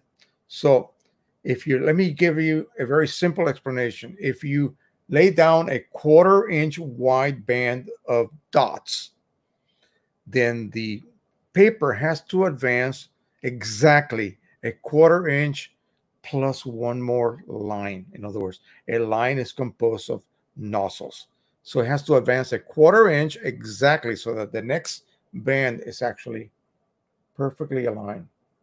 No spaces between each pass, no overlapping between each pass. What would cause a space or overlapping? A mismatch advance rate. Okay, that's that's what the alignment is doing is making sure that the advance rate matches the width of the set of dots applied. So if it's an inch, that's a big printhead. If it's an inch, then the paper would have to advance exactly one inch plus one nozzle so that it would be perfectly aligned. If it's less than one inch, then the next pass is going to overlap the previous one. You're going to see a black, a dark, not black, but a darker band.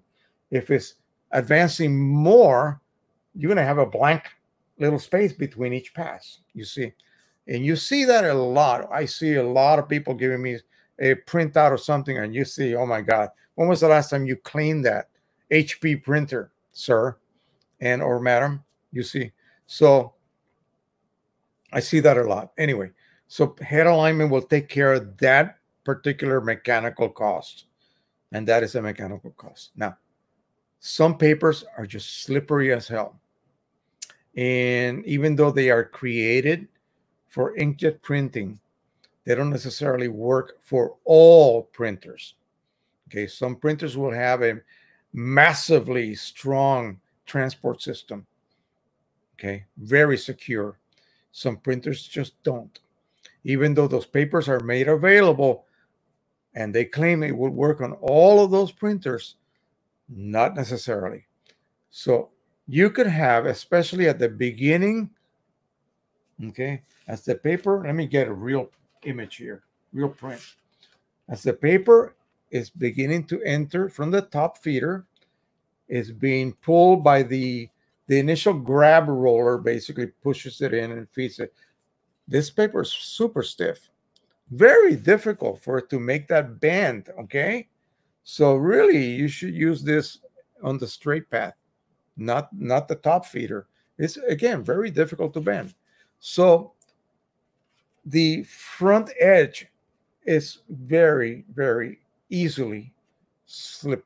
It's able to slip a little bit so is the rear, especially the rear, even worse than the front. As the paper is being fed, once it passes through the front set of little rollers, the ones that have the little star wheels, then you're pretty well secure. And it prints, prints, prints, prints, prints. But then somewhere around here, when you start losing, you know, the, the traction, if you will, that paper can literally slip. It can literally slip and it can advance a little bit more or a little bit less the rate is not constant. You're going to get weird areas that are, you know, they look like they're undulating in density. And I think that's what happened with this particular case. Quality. So, quality and also the unidirectional versus bidirectional printing. And what does that mean? Unidirectional means that the print head advances and lays down ink and it retracts, but it does not lay down any ink. The paper then travels forward. The printhead passes over the paper again, lays down another path of ink, and then it returns without laying any ink. Bidirectional is like this paper advances, print, paper advances, print, paper advances, print, and so on. So you're printing twice as much in a given amount of time any errors okay? Any errors in alignment will be increasingly more noticeable noticeable. And so for for the longest time high quality fine art printing folks out there always said and preached that you should use only unidirectional printing but we're in such a hurry to get our printing jobs done that we choose bidirectional Again, if you have unidirectional feeding and you at least, you know, either manually or optically, you know, done done by the printer, auto head alignment, you would get a lot better quality because remember, the print head is traveling in one direction. Those droplets are dropping, being spit out as the print head is moving. Okay. Think about this. What happens if I take a water gun and I squirt and move? I'll get a streak, right? But if I'm able to fire little tiny dots, they will not cause a streak, but they will be a little bit sort of like a bullet type shape. It's not a round dot. It's sort of like a like a little streak. When you print bidirectional, you're creating streaks in two different directions. That could have an effect, okay, depending on your head alignment condition. And again, it's really weird, but that's another cause of possible head alignment problems or banding. Um, highest quality, that means that the paper will advance a minuscule amount of time per pass. minuscule amount of length, in other words, not time, length per pass. And that will tend to overlap those dots. Remember, I said that dots are being overlapped and will smooth out any any possibility of any discernible banding that may exist. Okay. Inside the printer, there's also a strip of what looks like a transparent mylar type material. It's located behind the printhead and it is, passes literally through the printhead, printhead itself. There's a sensor there that reads that. Those, those strips have vertical lines on them, like a micron apart. And that is like a location system for the printhead so that the printer knows exactly where the printhead is located anywhere along the starting position to the end position, far left and back. If you do a lot of, uh, okay, here we go, borderless printing, and you create a lot of overspray internally because you print with the lid down, all of that over, overspray, that little cloud, microscopic droplets of ink that are being oversprayed because you got to print beyond the paper edges is floating inside. They begin to coat that. It gets to the point where possibly this is all, it's not going to happen 100% of the time, but possibly if dirty enough, it will begin to create some smudges here and there. And that those little lines can no longer be read by the sensor. You'll have positioning problems. Yeah. So a head alignment requires that the decoder board, the decoder strip, encoder, encoder strip. I don't know what it's called right now. Okay. But you know what I mean. Uh, that little strip has to be spanky clean. And so if it's not spanky clean, then the head alignment will fail. Okay. Yeah, you can do it a thousand times and it's not going to truly align your printhead. That match your printhead amount of ink being laid to the exact amount that the paper is being transported forward toward you. In other words, Whew, long hair subject. Again, it's very technical. I leave that to the engineers and the techs that, that repair print heads, repair print printers. Banding is a multi, this can be caused by multiple um, reasons, causes, and also, you know, two or three causes at the same time.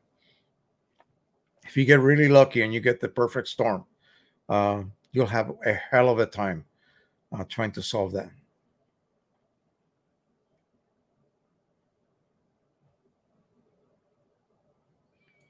We got 41 likes. We got 52. We had a few more before that. So 45 now and only 10 more to go, peeps, to match the max viewer number of 55, I think we had before.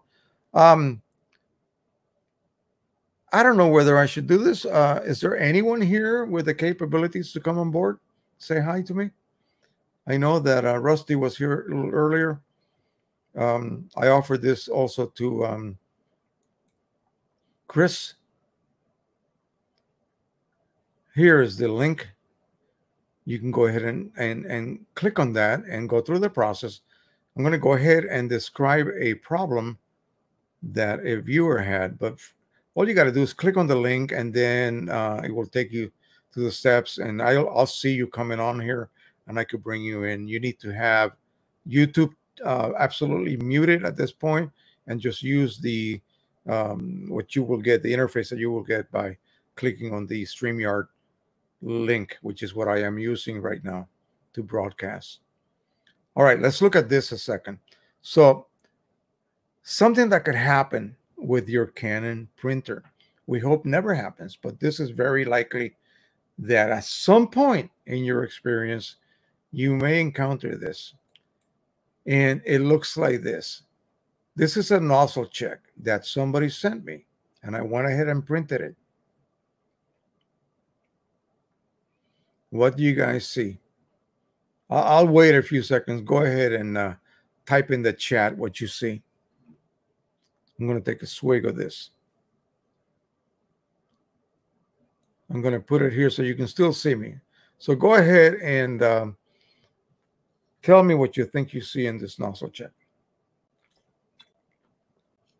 Don't be shy.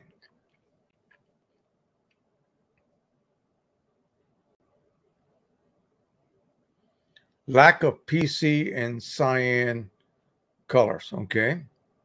Something else. There's another one.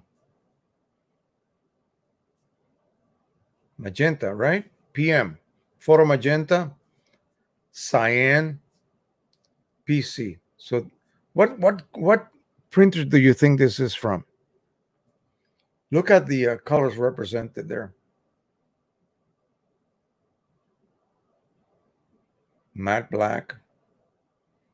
It's a Pro 100, right? No, Pro 10. Pro 10 printer. So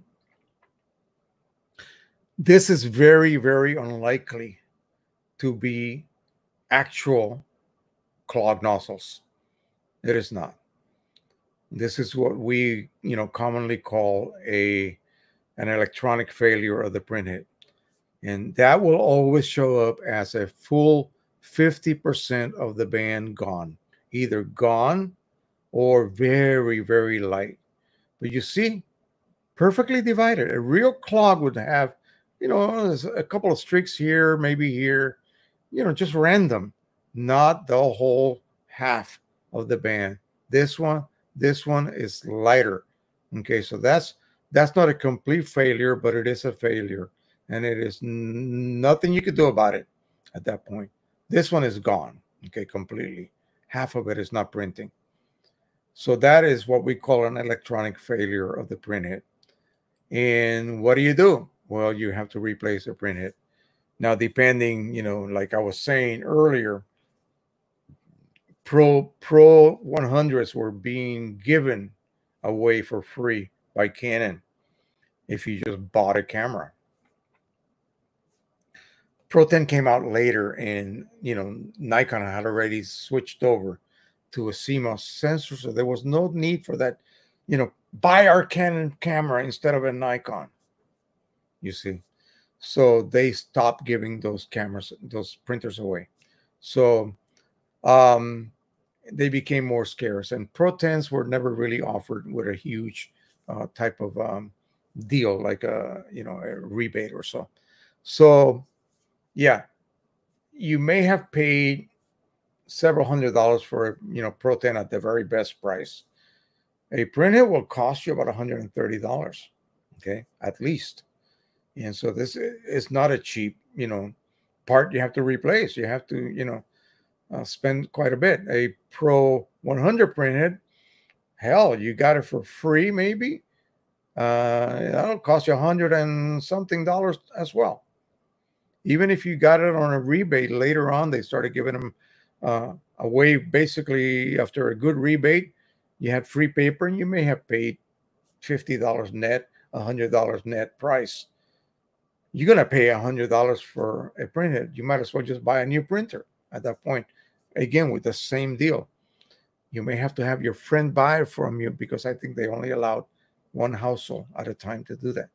So, anyway, yeah, once you see those problems like that, yeah, that's it. That printhead is fried.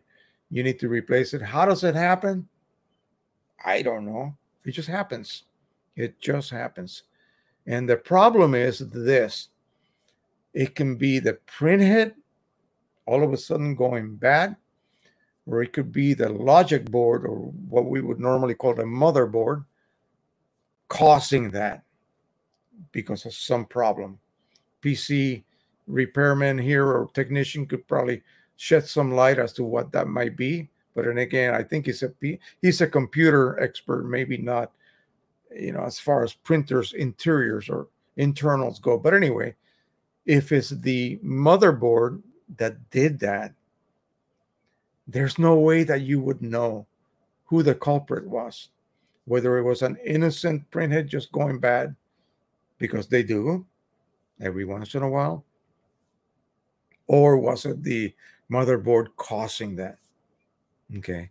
So you innocently go eBay and buy a new printhead and you go to install it, and in a day or two, it's also bad because it was the motherboard's fault and not the not originally the printhead's fault. The printhead can cause the same symptoms, but so can the motherboard. And that's what I have been told. Again, don't look at me like I'm, you know, the expert on this, but that's what I have been told from people who have actually experienced this. Installed a new print head, brand new sealed, and it went bad again. Yep. One of the things that can happen. Yeah, so exactly. So no no power to that section of the of the head basically. Electric connection problem. Yeah, it is.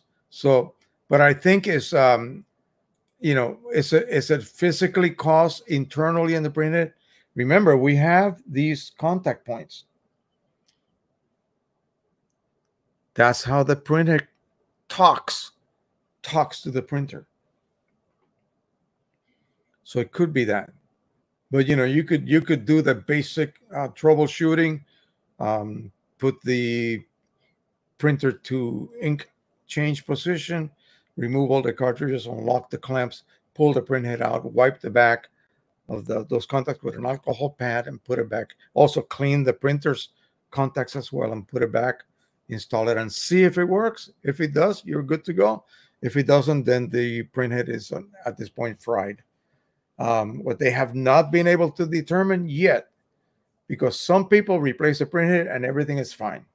So that means it was at the printhead level. If they replace the printhead and it reoccurs again, then that's further down or upstream, whatever. You know what I mean? It was caused internally by the um, the um, motherboard. Three colors with 50% nozzle failure. Well, yeah, the ones that had partial printing, the, the, the nozzles are fine, believe me. They're just not being activated. They're not being triggered. All right, let me see what Chris Bell says. Not into printer repairs, but of the main board is faulty, it will kill the new printed head too. Exactly what I said. Yeah. That's what will happen. All right. So, one of the many, many, many, many questions I get is, you know, basic hints how to choose a printer. Do we need to really discuss this tonight? I think so. I think we will. Um, I always tell people, well, you're going to buy a car. So, what's the point of having a car other than just looking at it in your garage or driveway? from point A to point B, and you want to do it in a certain level of comfort. You have you want to have certain features. So the same thing with a camera, the same thing with a printer, the same thing with any kind of power tool, anything. You want to have a certain degree of performance from that particular product. If it's a product that there are many choices to you know choose from, then you want to one you want to get the one that fits your needs. So I would ask well, how are, are you you just into this to just experiment? Are you just curious what a print looks like? You've never seen one because you're you're only say 20 year old and you've only been exposed to the digital world. Yeah, send your prints to the lab. Send your images to the lab to be printed and then look at the print and then and then think hard about okay, do I really want to get into this? Because oh my God, there's so many pitfalls, so many things I also gotta buy to support this new habit. But boy, what a fun habit it is. So, for those who are photographers, and I'm not going to say that I am one, you know, but I do, I do delve. So, what is it you're looking for? What do you want to produce?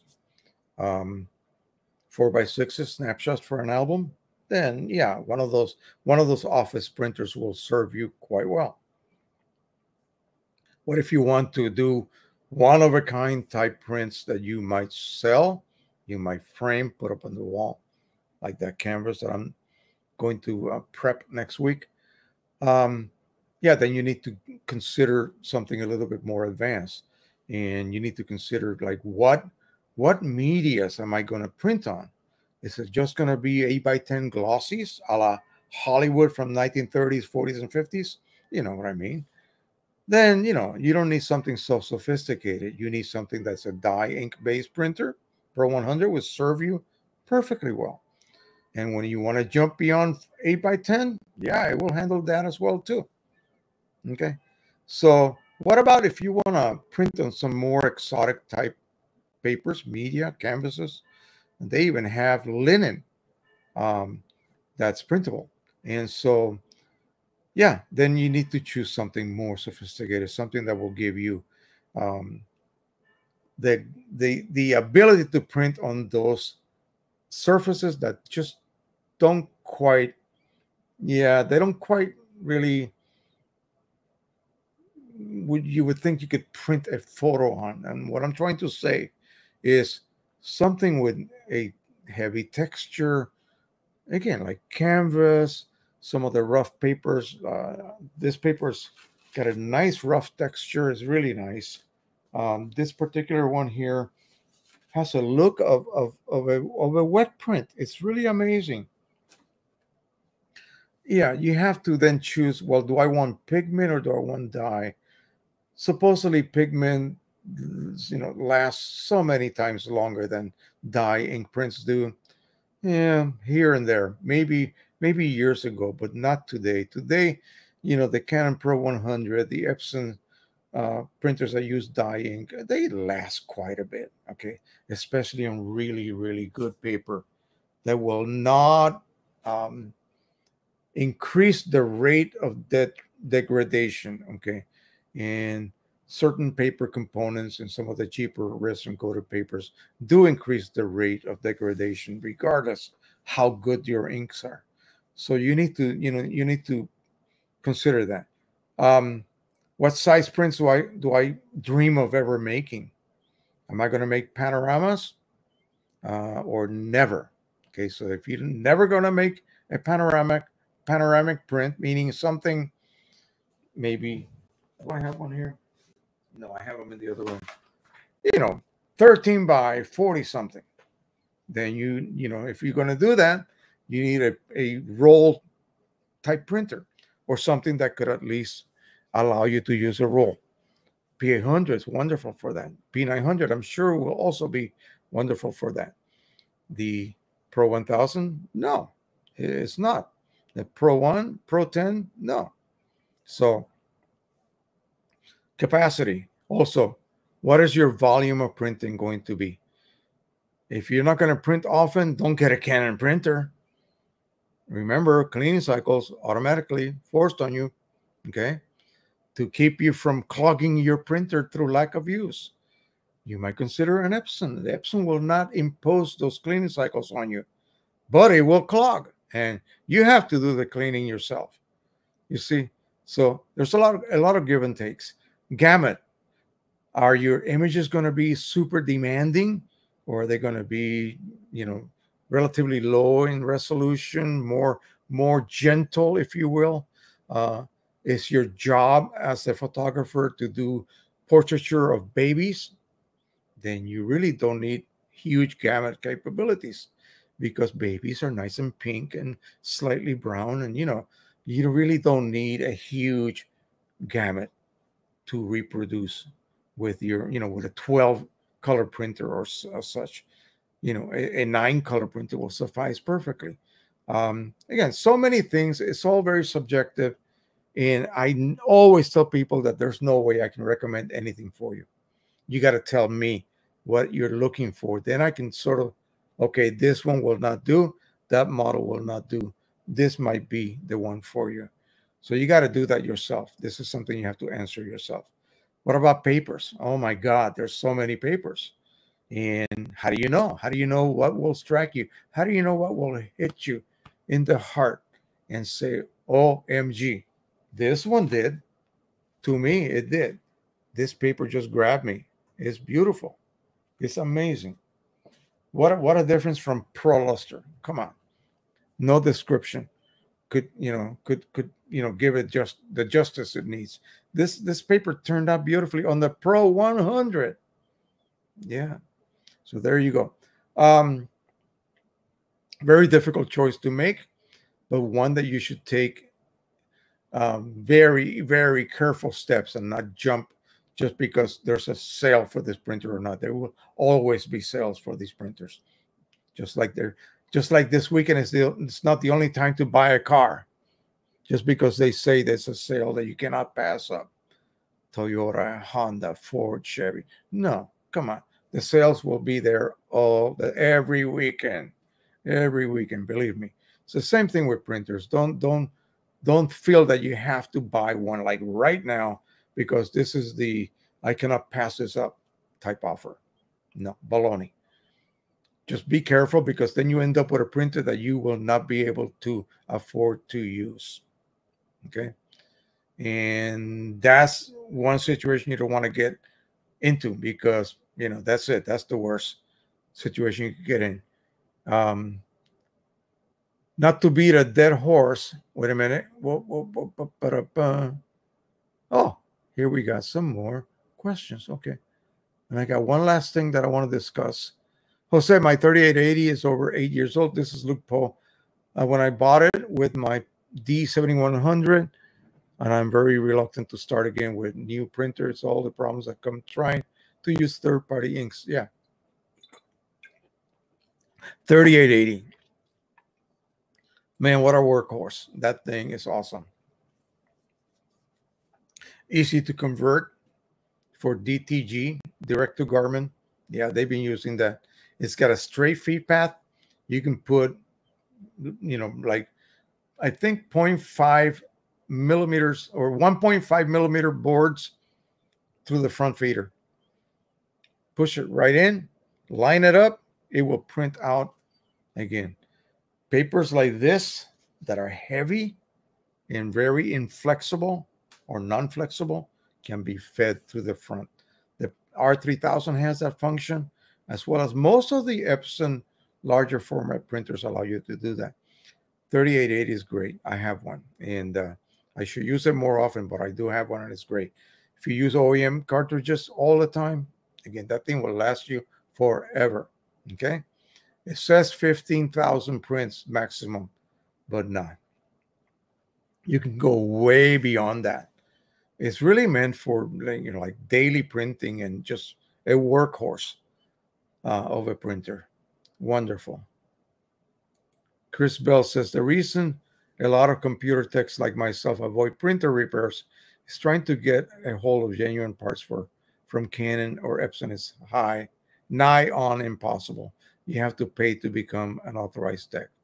Yeah. Um, I got a, there's about 40 miles north of me, there is a Canon service center, but it's not really, it's not really controlled by Canon. They just have technicians that know how to work on Canon printers. And um, yeah, I, I, I, I get you. I get you. Epson P900 will not be out until mid or late July or I would have gone with it. I'd like to thank you for the time and information. You helped me. You helped me more than you know. Well, awesome. I, I love to hear things like that. Um, we will see what this printer brings. Um, there are a couple of people that have had their hands on them. Uh, there's a guy in, um, I think it's North something Northlight Images in the UK. This guy uh, does uh, reviews and he gets privy to a lot of the new releases and so forth. I've, I've heard stories about the quality being incredible.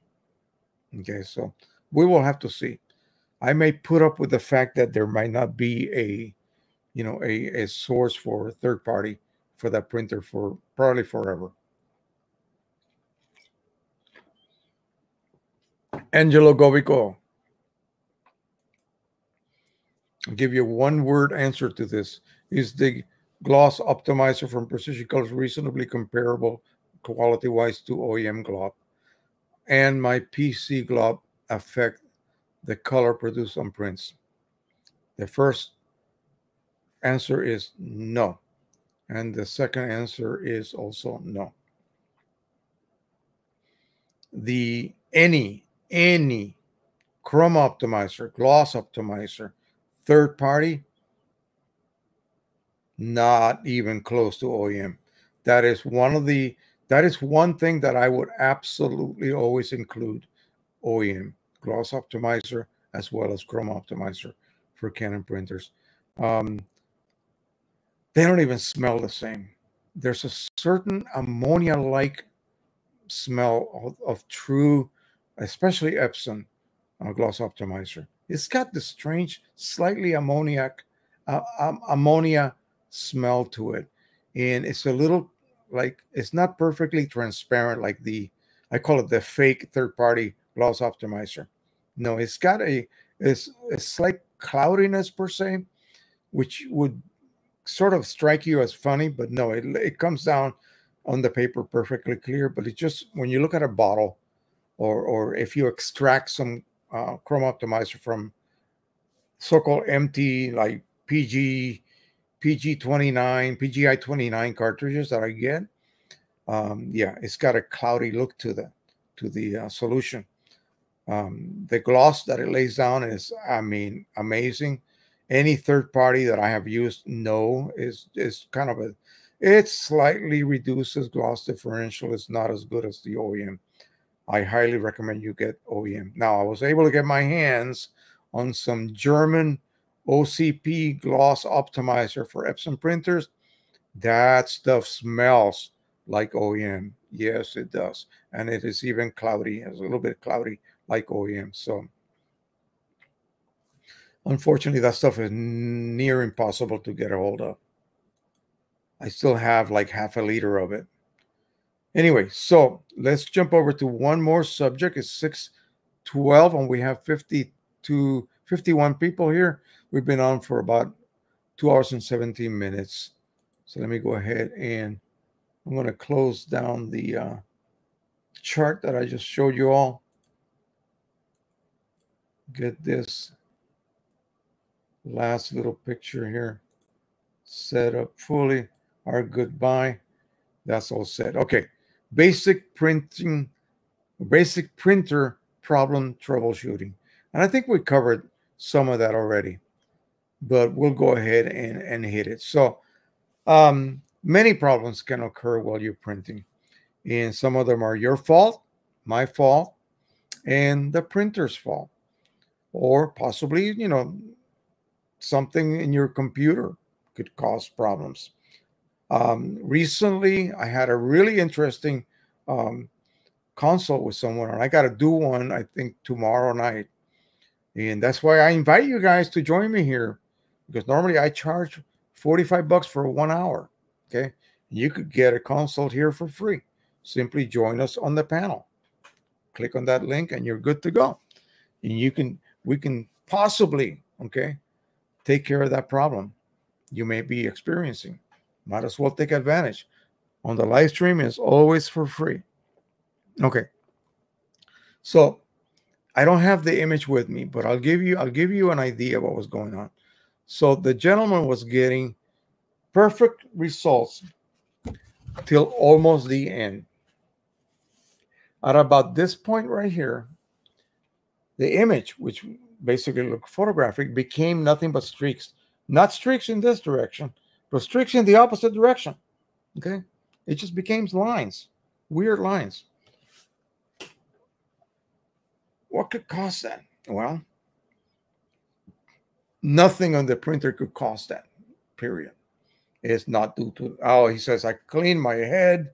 I, I did nozzle checks. I did this. I, useless. You wasted your time. You wasted your time.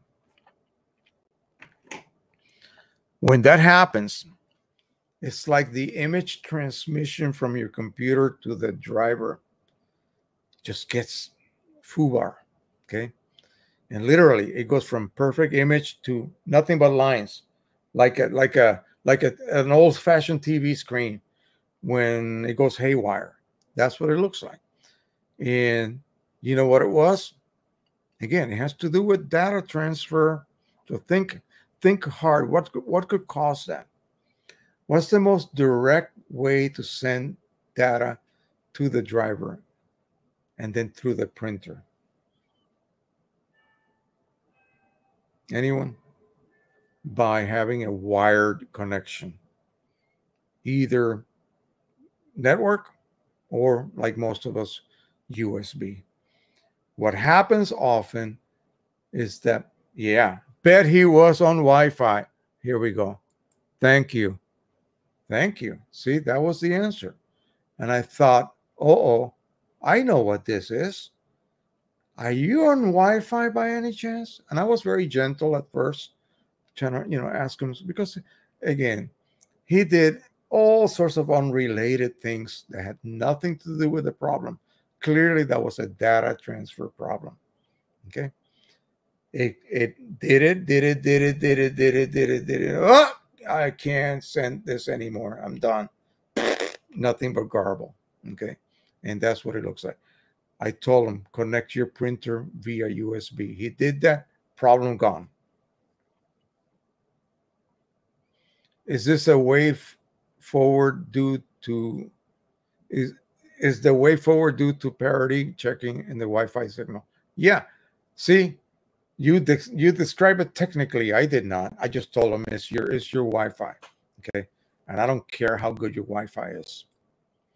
I never ever connect any of my printers to Wi-Fi. The only time I did that is when I was printing text from my laptop to when I used to have I used to have a uh, Epson Artisan 720 little tabletop model with a little scanner unit built into it and that had Wi-Fi, but I was always right next to it even though I had to go to my router down here and back upstairs, sure. But it never had problems like that. But I never really printed images with it. How am I going to send a huge image via Wi Fi? Okay. And expect the printer to handle that, you know, no, it, it just couldn't. It just could not. Let me see here. Jeg 569. I think you've been here before. Um, Hi, Jose, watching from Scotland, enjoying tonight's video. My Epson P700 is printing great. I have just got into home developing my 35 ah medium format film.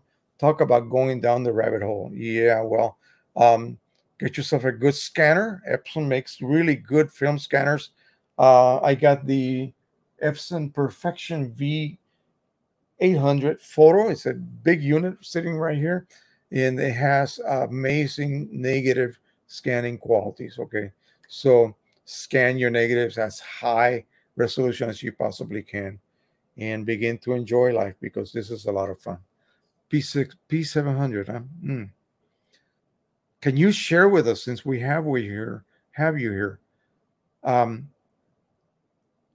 once you set up the printer and you and you were able to to um, prime the ink lines and the internal dampers in your printhead.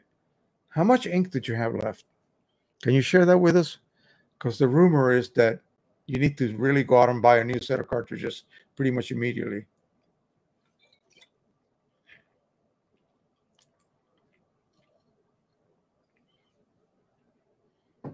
There you go. See, a lot of people will argue with me about that very same point. I said, stop arguing and just just do it. Do what I just told you to do.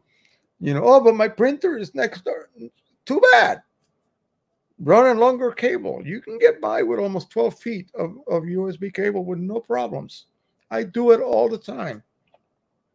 Okay. And I'm sending big ass prints, big ass images to my printers next door. Okay. Everything is wired. All righty. So we were talking about about you know so-called um, troubleshooting. So that's that's that was one interesting uh, event, if you will. Now, the most common, the most common thing that happens is, of course, my prints don't match my monitor. We don't want to get into that. It's a color management problem. Let's just talk about troubleshooting actual problems that happen while you are printing. So you did your your standard image. It came out perfect. So why shouldn't your images come out perfect? This one did. Ah, your images are not perfect. This one is. Okay, that standard image is perfect. And your image your image was sent to the printer. The printer is working as as designed, produce a neutral result, not too light, not too dark. That's all you want, with enough gamut to give you a full, you know, um, rendition of all of the colors included in that in that standard image, except for the strip of outer gamut colors. Don't forget. I'm going to discuss all of that point by point in that upcoming video. So keep an eye out for that. All right. So How about you did your standard image? It was beautifully depicted on your favorite paper.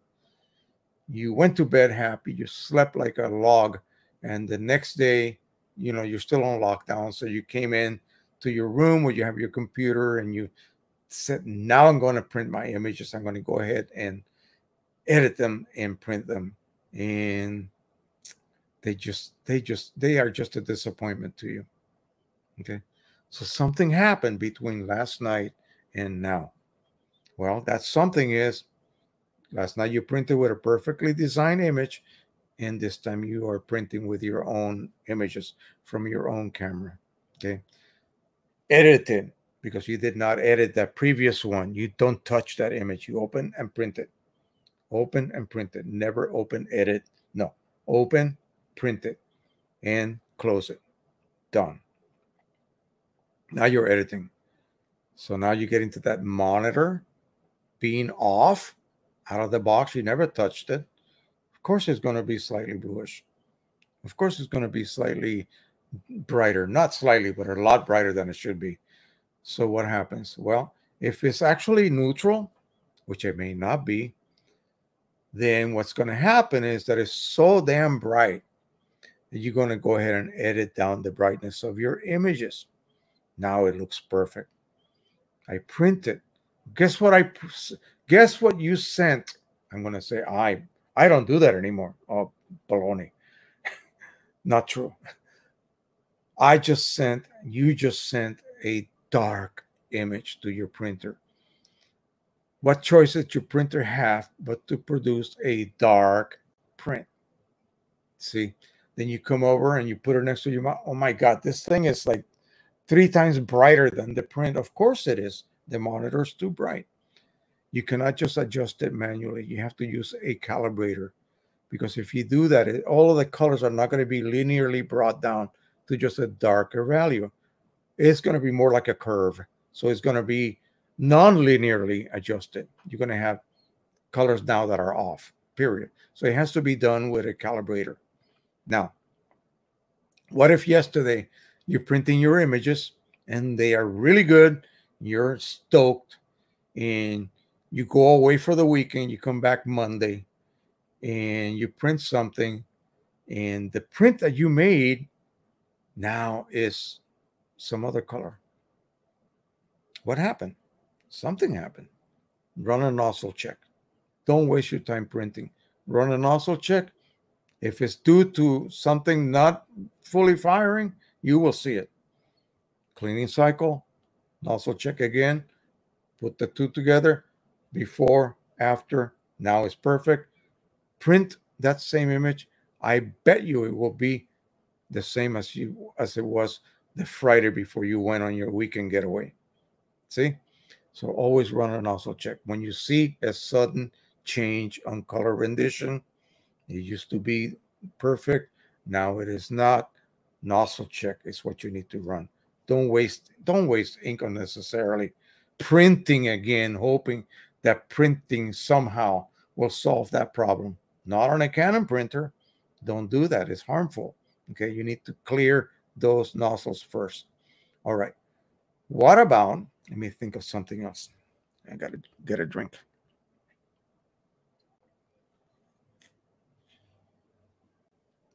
I had one in my head and it just fled me. that's that's nothing new. It was a good one too. Sorry. Let me go ahead and look at something else here. And again, this is one that always, always gets people. Always. Um, we'll, we'll, it'll come back. Um, Chris Bell, he's been very diligent looking at our um, likes and uh, view viewer ratio. We got 51 likes now, and we got 50 people at this point. We need to reach four more, but those people may have already fled. So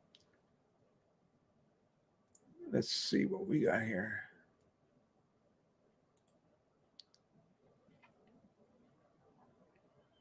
Yeah.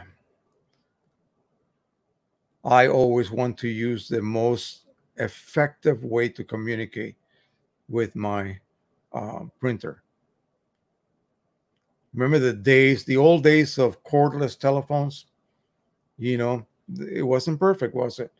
And uh, we still have a landline wired. We use cordless telephones, but you know, we still use our landline. And then we always we also have smartphones, but I like to stick with something that is a little bit more reliable. Uh, how was I order a new set of inks? Not much ink left after the initial prim- priming. I have not had the chance. I, ha- I have not had to change them yet after 15 prints. Okay, that's good to hear because we wanted to know exactly. People are claiming that once once you prime the system, that's it. You can only print a couple of test prints and maybe a few prints. By a few prints, I don't know what they meant by that. Possibly not 13 by 19s. So, you know, what size have you been printing with whatever is left?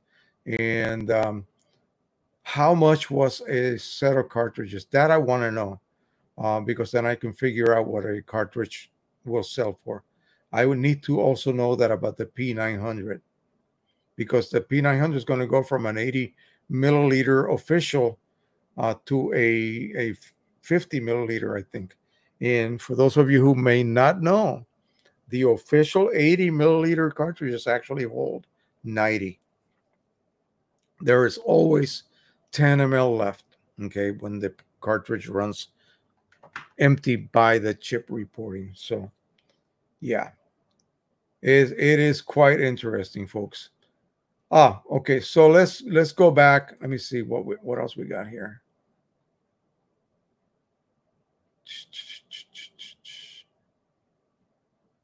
Let's just read some of these comments. Hi, Roomies from St. John's, Newfoundland. I have been using a digital camera with a macro lens to scan negatives. Oh, wow. Uh, it's much faster, sharper, and has twice the dynamic range of an Epson scanner. Okay, you got me beat then. Uh, I used to have a dedicated film scanner at work that might be a good thing to do. I might have to uh, consider doing that. So, are you using a um, light box of some sort to light your negatives? That would be nice to uh, be able to get into again.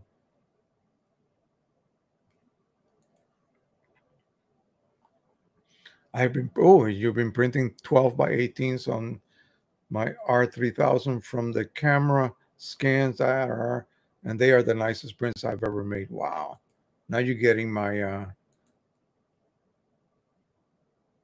taste buds stimulated here. Uh, MPM Photo, Evening Jose, FYI, I have observed that my photo edits in my RAW editor ON1 RAW 2020 does do not update on the QIU file of the same image the auto updates from PS and Lightroom work just fine. I don't know. I am not sure what you're referring to here, but yeah, um, I, I let me just give you my two cents. Um, I love I, I love Lightroom because whatever I do, it is just saved as as sort of like a history. It's not really affecting the original raw image, so it's all kind of metadata based, and I can go back and and actually go through any of the whether it's one edit step or a hundred edit steps to arrive at a final result. I can go back and access any of those steps. It remembers everything. I can I can crash the program and I can reload it and it goes back to the last point of my many many many many edit uh, steps.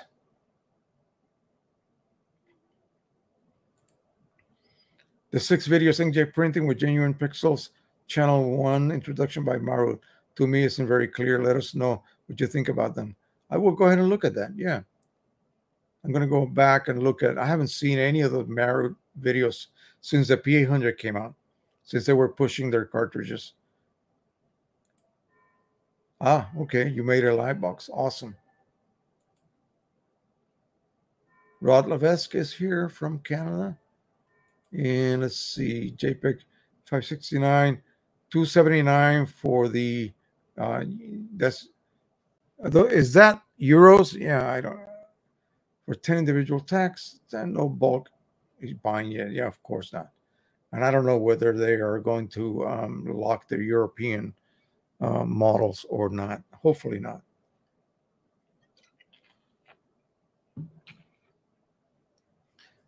If they do lock them, oh, that's UK pounds. Okay. I don't know mine. Yeah. So if they do lock them, it's going to take the Chinese a bit of time to come up with a with a system. Um, but if they don't, then it's going to be pretty simple to, at least for them to come up with some sort of auto reset type system. If they do lock ours, then we're screwed. Hmm.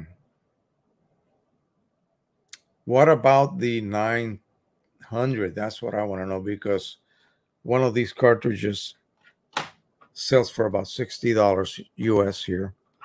So you would need nine of them, no, 10 for the 900. But they're going to be like, you know, 30, literally 30 milliliters less.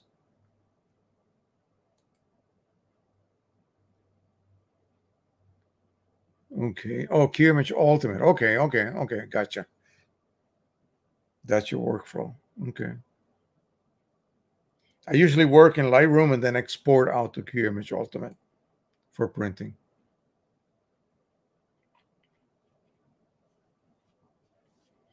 Remember, not it's not DPI, it's PPI.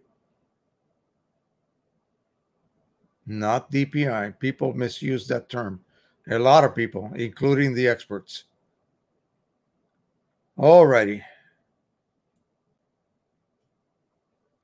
try to remember what the heck I was going to talk about as far as a printer um, problem. Uh, geez, I should have wrote them down.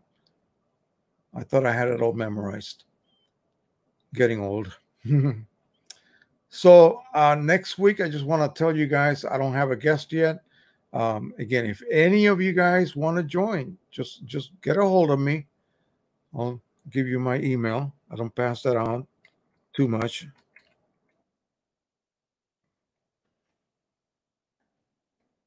and then contact me and we'll set up a um, you know before we go live we can join each other if you will and we'll see ourselves um, and we can set up audio make sure that everything is so okay camera and so forth here's my email feel free to contact me tool joe Oh, wrong. See that? Let me rewrite that because that I cannot delete my own post. Wow. 1949 at yahoo.com. Make sure that is correct. All right. There you go. So give me a, a um, call or um, not a call, but you know what I mean. And um, we'll set you up. And again, this is going to be uh, the equivalent of a one to one on the phone, except we'll do it online. And that way I can, I, will I'll, I'll make a few bucks out of it, of course, because the, the uh, stream is actually monetized. Um, once we are done, I have to set all that up to earn us a few bucks a month on the stream. So, all righty. Well, give you guys another chance. We're gonna cut it cut it short today. I think so. Um, so the plan is, of course, remember that in a couple of weeks we will have Mike Lee from Precision Colors back again with us, and he's got a couple of things that he's he's going to um, be talking about. So Again, usually we'll stay for about an hour with me, and then after that, I'll take over for the next two hours or hour and a half, whatever the case. Um, we we go as you know with the flow, if you will. Um, let's see, Chris Bell just gave us some information. Uh, okay, so what do you think the um? Oh, good. What do you think the cartridges might go for? Hmm? And also, I wonder if they are going to be pressurized cartridges like these are. These have that internal bag that has to be internally pressurized to maintain that that that working pressure as you print. So um, let's see. For the P800, the 130 ml costs 120 USD. What do you mean 130 ml?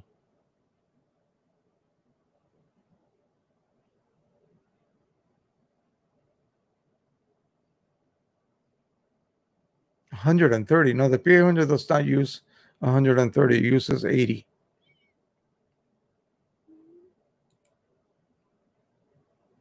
So about 42 for a, yeah, boy, P900 cartridge. That that's okay, I guess.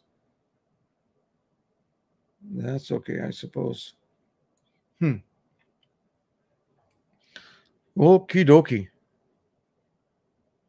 I don't know what tomorrow's plans are. Oh, yeah, of course I know. I'm going to go pick up Nathan, bring him over to the house. He's going to play a uh, robot game. Robot Wars is called. On my computer and probably on my phone as well. I got it in both both um, units. Anything else here? Let's see.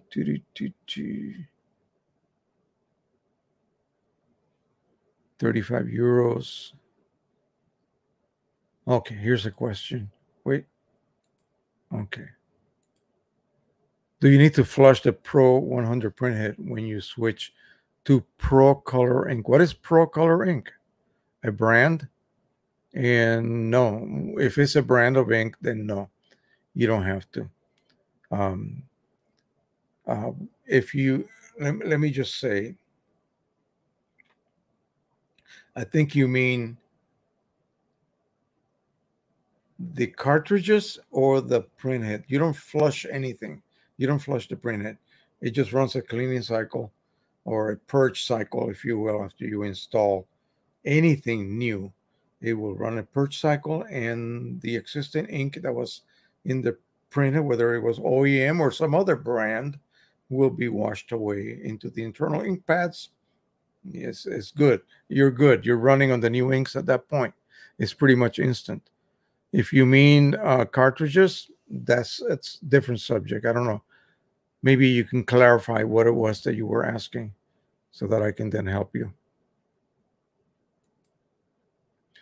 If I had to replace a P800 right now, I would get another P800, not the 900. Well, uh, there those people who do have it uh, or the the the Pro um, the P700, which has the same ink set, I assume, are saying that the results are really really great. Um, better than the previous version, I have no clue. Again, it better it better really be good. Out here, they have Epson P series in ink. I thought, but those are not. Is that OEM? Those are not OEM. Are they? And where is out here?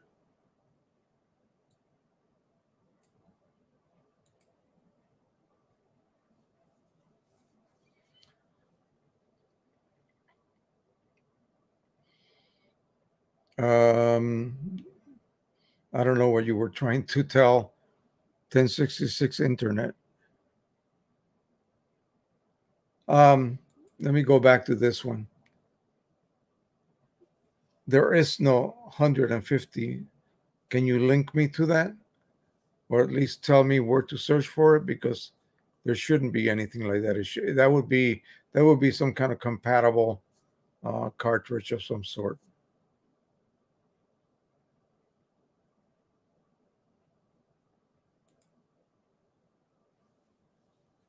Photo Supply, Portland, Oregon. Yeah, that's a that's a third party ink and it's probably image specialist anyway which is or or or sts is the only inks that are available here in the us they are all selling the same inks basically. The only guy who's selling inks that are tweaked to match oem as close as possible is precision colors period. He's using those same labs but they are actually creating custom blends for him uh, to meet his standards.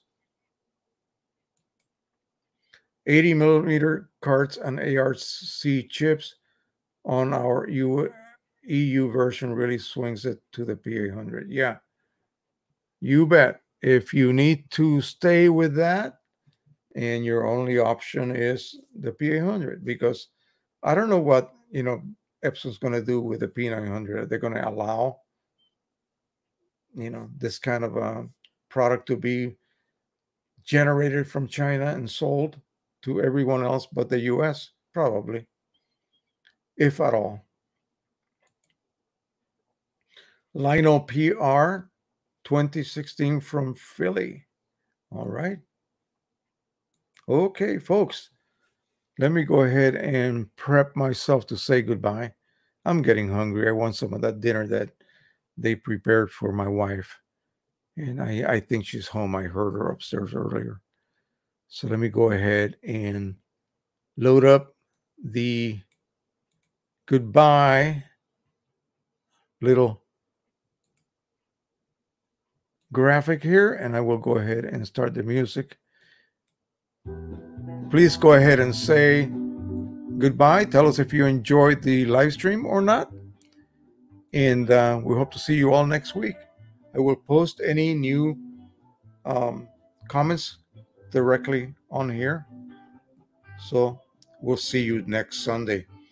And uh, hopefully, I'll have some news from Canon about what's coming up in the future. But I don't think I don't think they're going to divulge that until the actual date where they will actually make the report.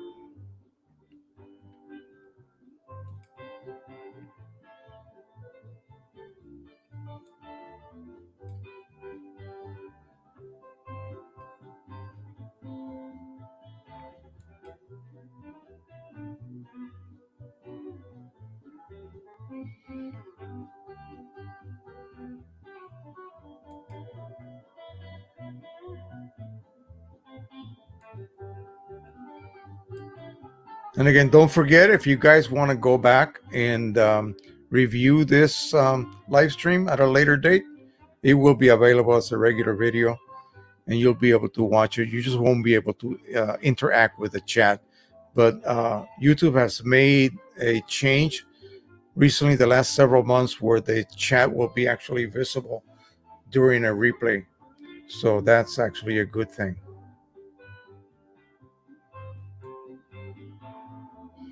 Oh, yeah, the standard images are available in my Facebook group.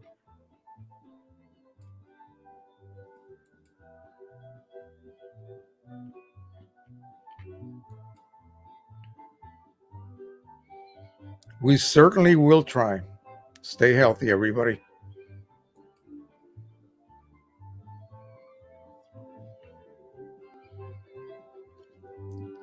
All right. Thank you all so, so much. See you next week.